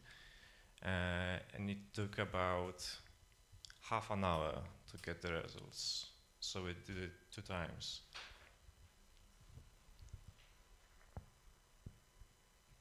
And it's pretty powerful stuff. It has, I think, 50 cores, 300 gigabytes of RAM.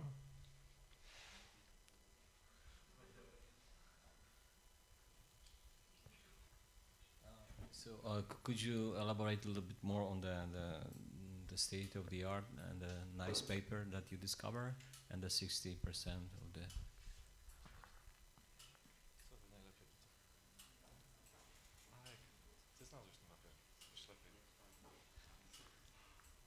So w- w- Uh, Uh, that was ABM a paper, and we found, like I remember correctly, was 67% faster should be uh, using quantum algorithm. Uh, yeah, and we found, found that. So that should be our result. I for think. the same algorithm that you selected and used? Uh, I'm not sure about that. Okay.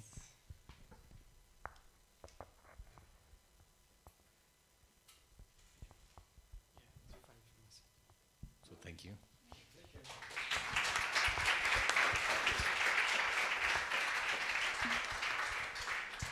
Thank you.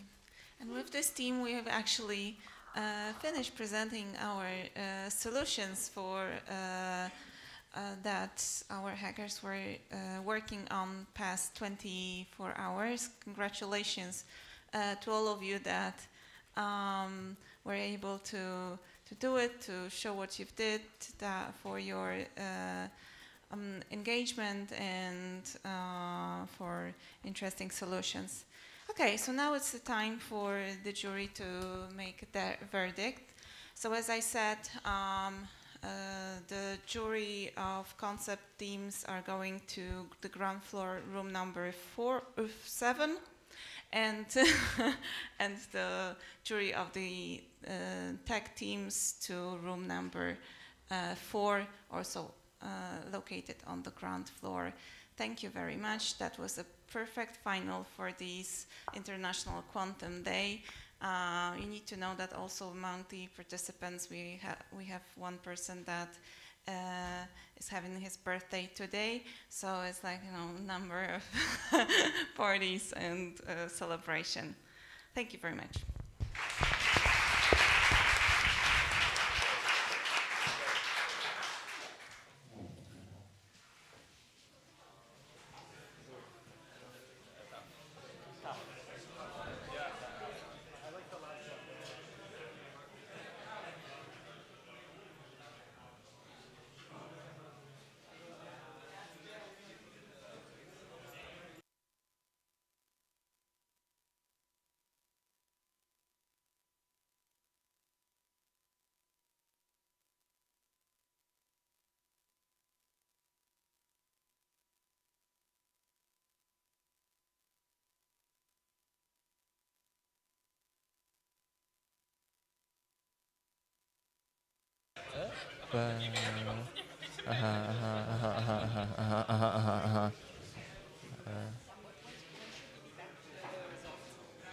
One, two, three, don't escape, please. The Sandy Lane concert is uh, about to begin. So while the jury are assessing, uh, the artists are playing. So please don't escape, huh?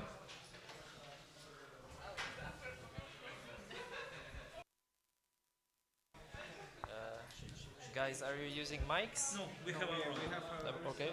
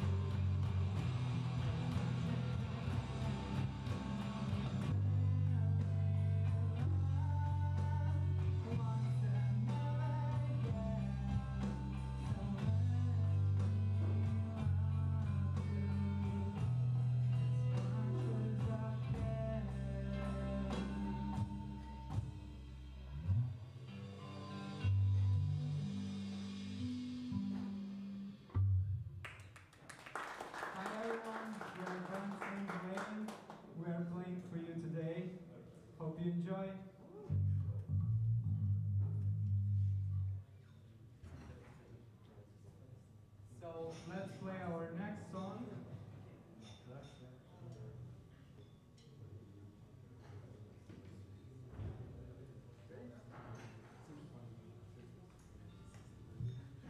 Our next song is called Simpler Times.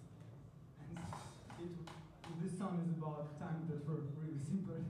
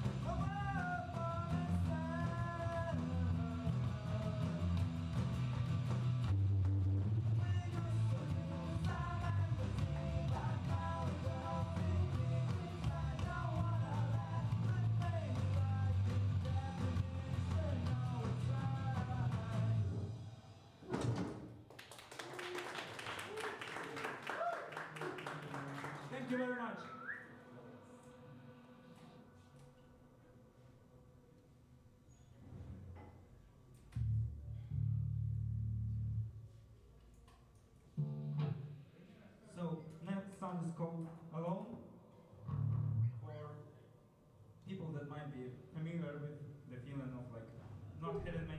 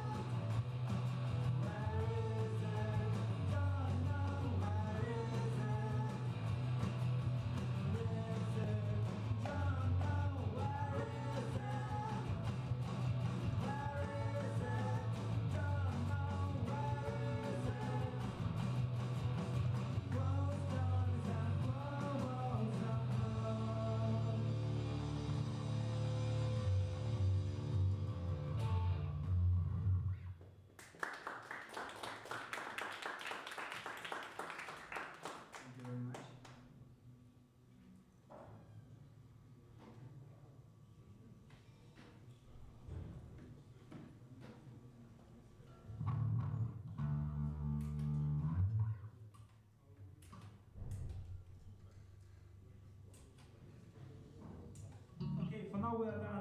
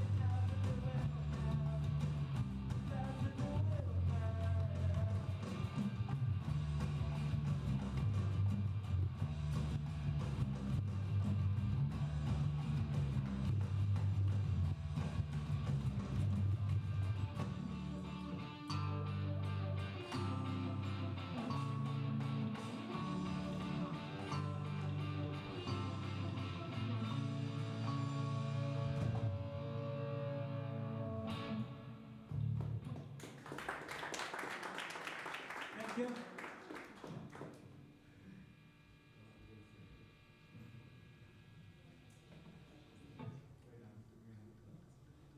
Follow us on our social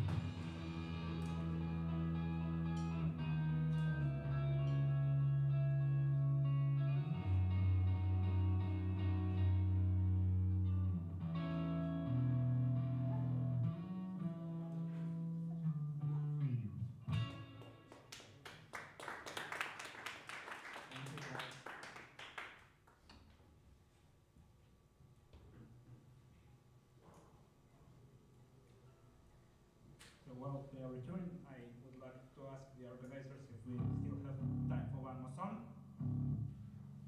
Yeah, thank you.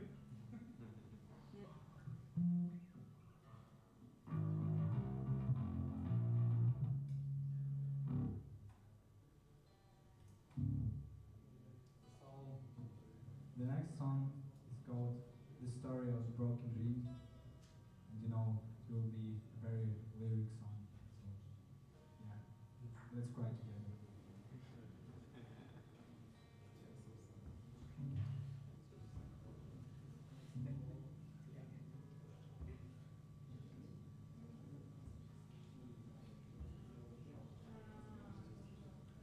To say when we are returning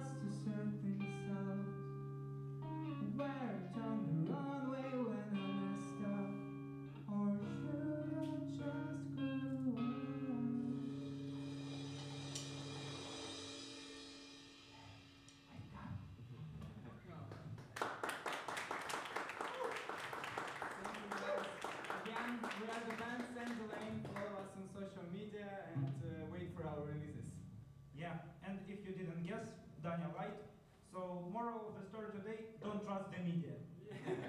don't trust the media. Don't uh, trust anyone who tell you that you will cry now. so yeah,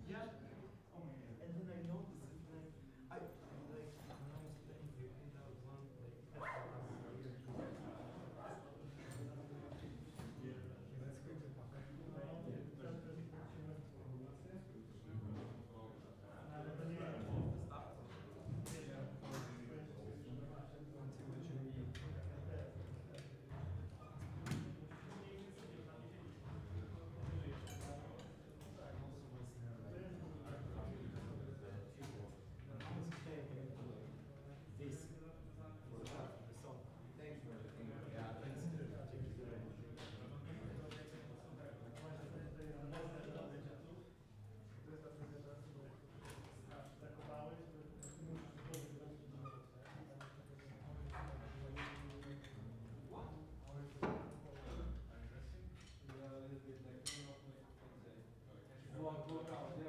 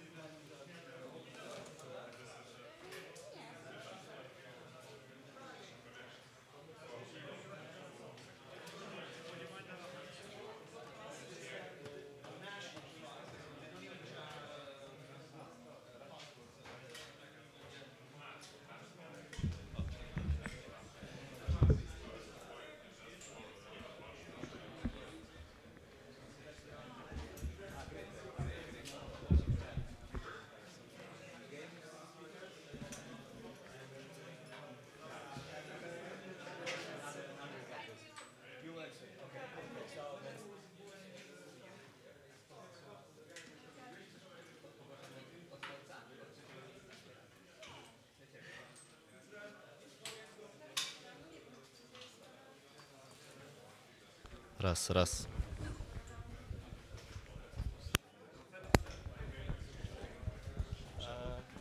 Nie, właśnie, to, że za dużo ludzi było między mikrofonami bezprzewodowymi, a moimi antenami. Wszyscy mieli telefony i tam miałem anteny. Tak, tak, więc dlatego teraz są na kablu.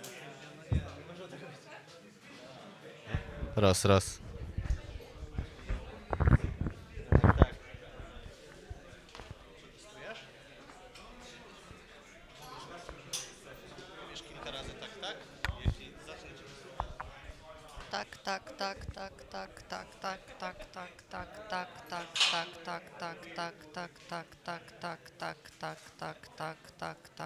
Tak, tak, tak, tak, tak, tak, tak, tak, tak, tak, tak.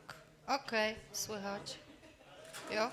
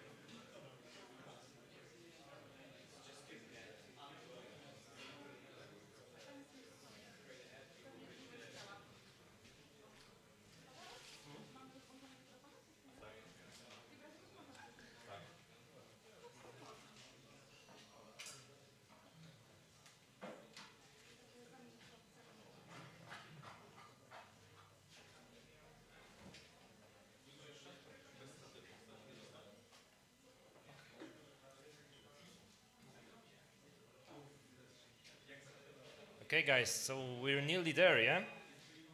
So before we get the information that we are all waiting for, and the information is already over there, there was an additional contest organized by Capgemini, and by the way, thank you once again for possibility to join in this wonderful event, and it's really a, a great experience. Uh, so there was an additional contest that was prepared by us, and some fancy gadgets could be won. So we had a lot of answers, but the five uh, people who were the first and answers those, questions correctly, which were not the easiest, I think, uh, I have right now on my list, so I would like guys to join you here, and I have some gifts for you. So these guys are Ignacy Kajdan, Maciej Kowalski, Szymon Raciborski, Michał Sikorski, and Michał Janiszewski.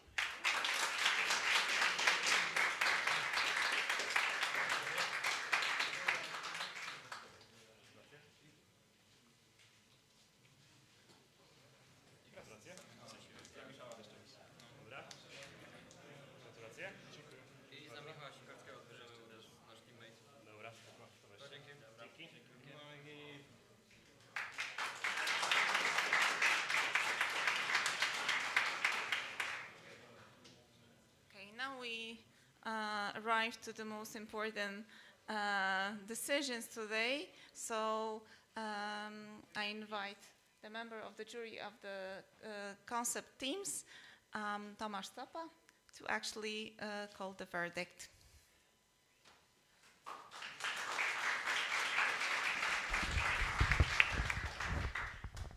All right, guys. So the concept track. Uh, there we had three teams. So first, good news is that everyone gets a prize today.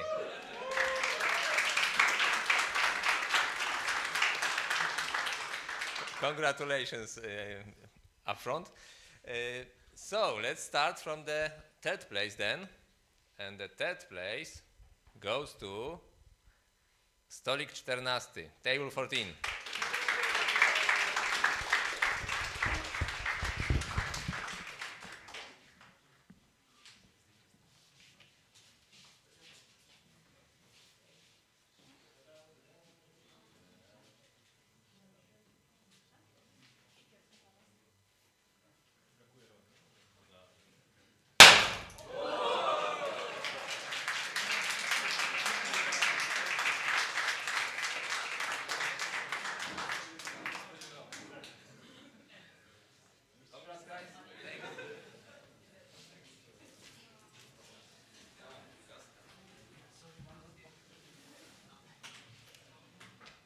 The second place in this category goes to My Mateusz, we Mateusz.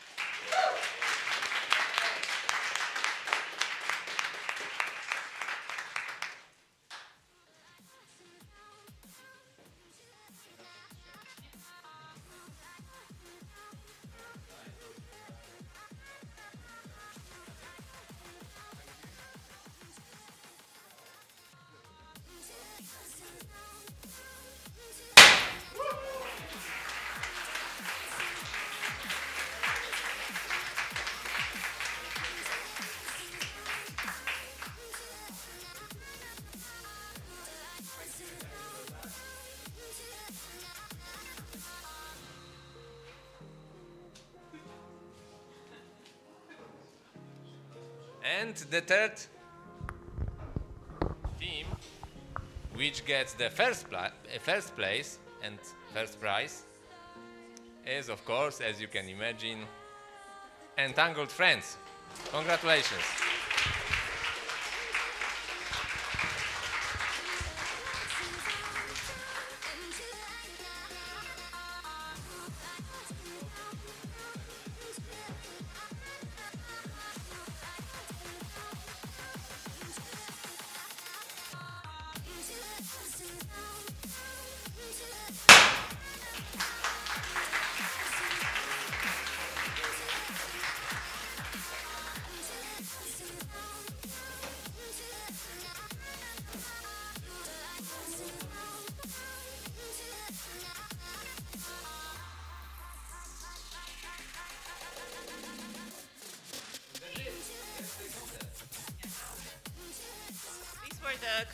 Concept. Thank you very much. Um, now I invite the members of the jury from of the tech teams to come to the stage and announce the verdict. Don't leave the building because you uh, have to fill up the documents about your uh, prizes. Okay, so um, uh, before the final uh, judgment of the tech um, track, again, I would like to really uh, thank you, all the participants. Uh, this year, uh, I was really so happy to see, you know, how many participants registered, and also that we switched from concept to tech track. Last year was completely opposite. It basically means that uh, more and more people are interested not only in the quantum technologies, quantum computing in particular, but they are really trying to find some tools and, and solve uh, some, maybe at this stage, toy problems. So thank you again, uh, all the, the participants uh, who came you know, to, to this hackathon. Don't forget to continue to celebrate the Quantum Day.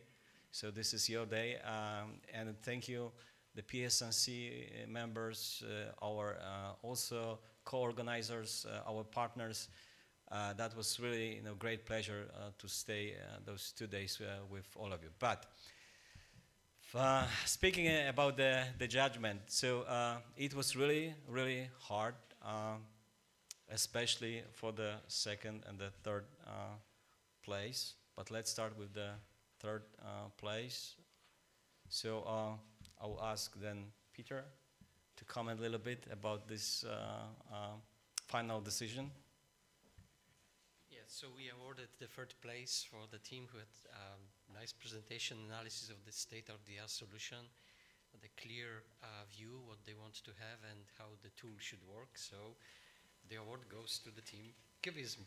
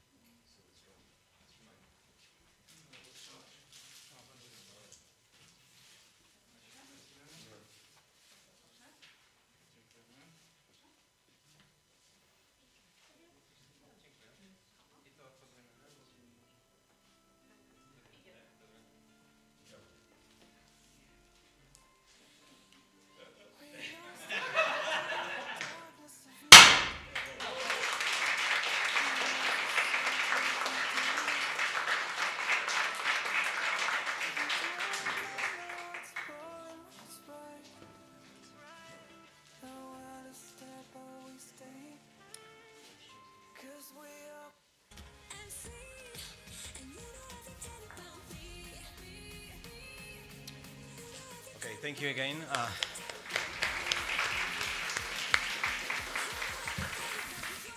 so um, uh, this hackathon is not uh, local anymore. We have some guests from uh, other remote uh, locations. And um, for the second place, I would like to ask uh, William to comment why we selected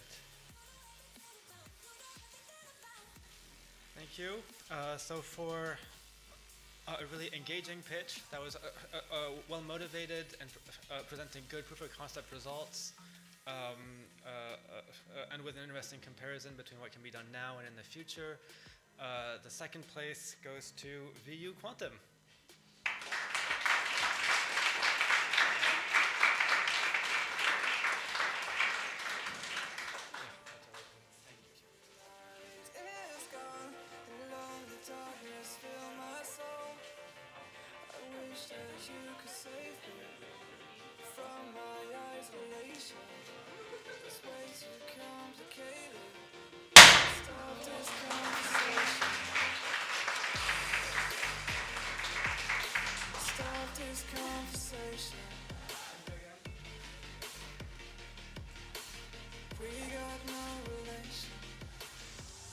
Okay, so um, the most prestigious, the, the first uh, place, and uh, we're so impressed, uh, especially uh, with the state uh, of the art analysis, but also the way pitch uh, was presented, and also the technical background of the whole team, and also how many things and pieces have been delivered during such a short amount of time. So the the winner of the tech track is Gdańsk University, JJ, DQJ.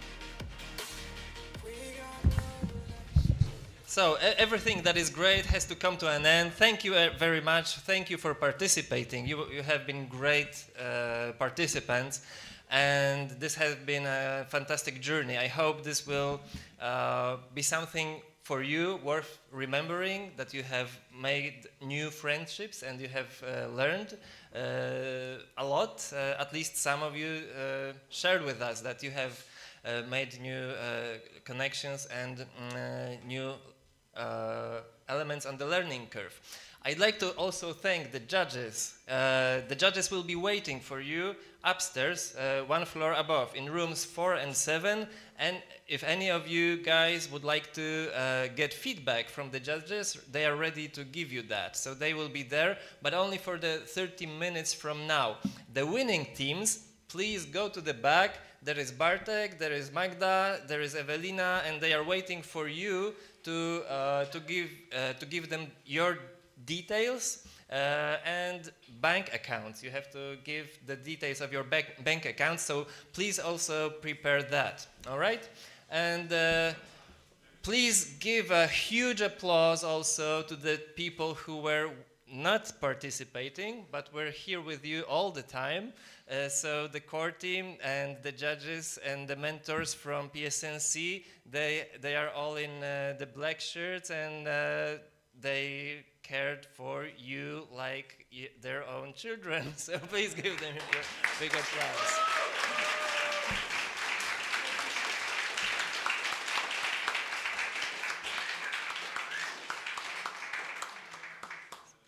So great. Thank you again and hope to see you next year. Same date, 12th and 13th of April. We see each other next year, the latest. Bye.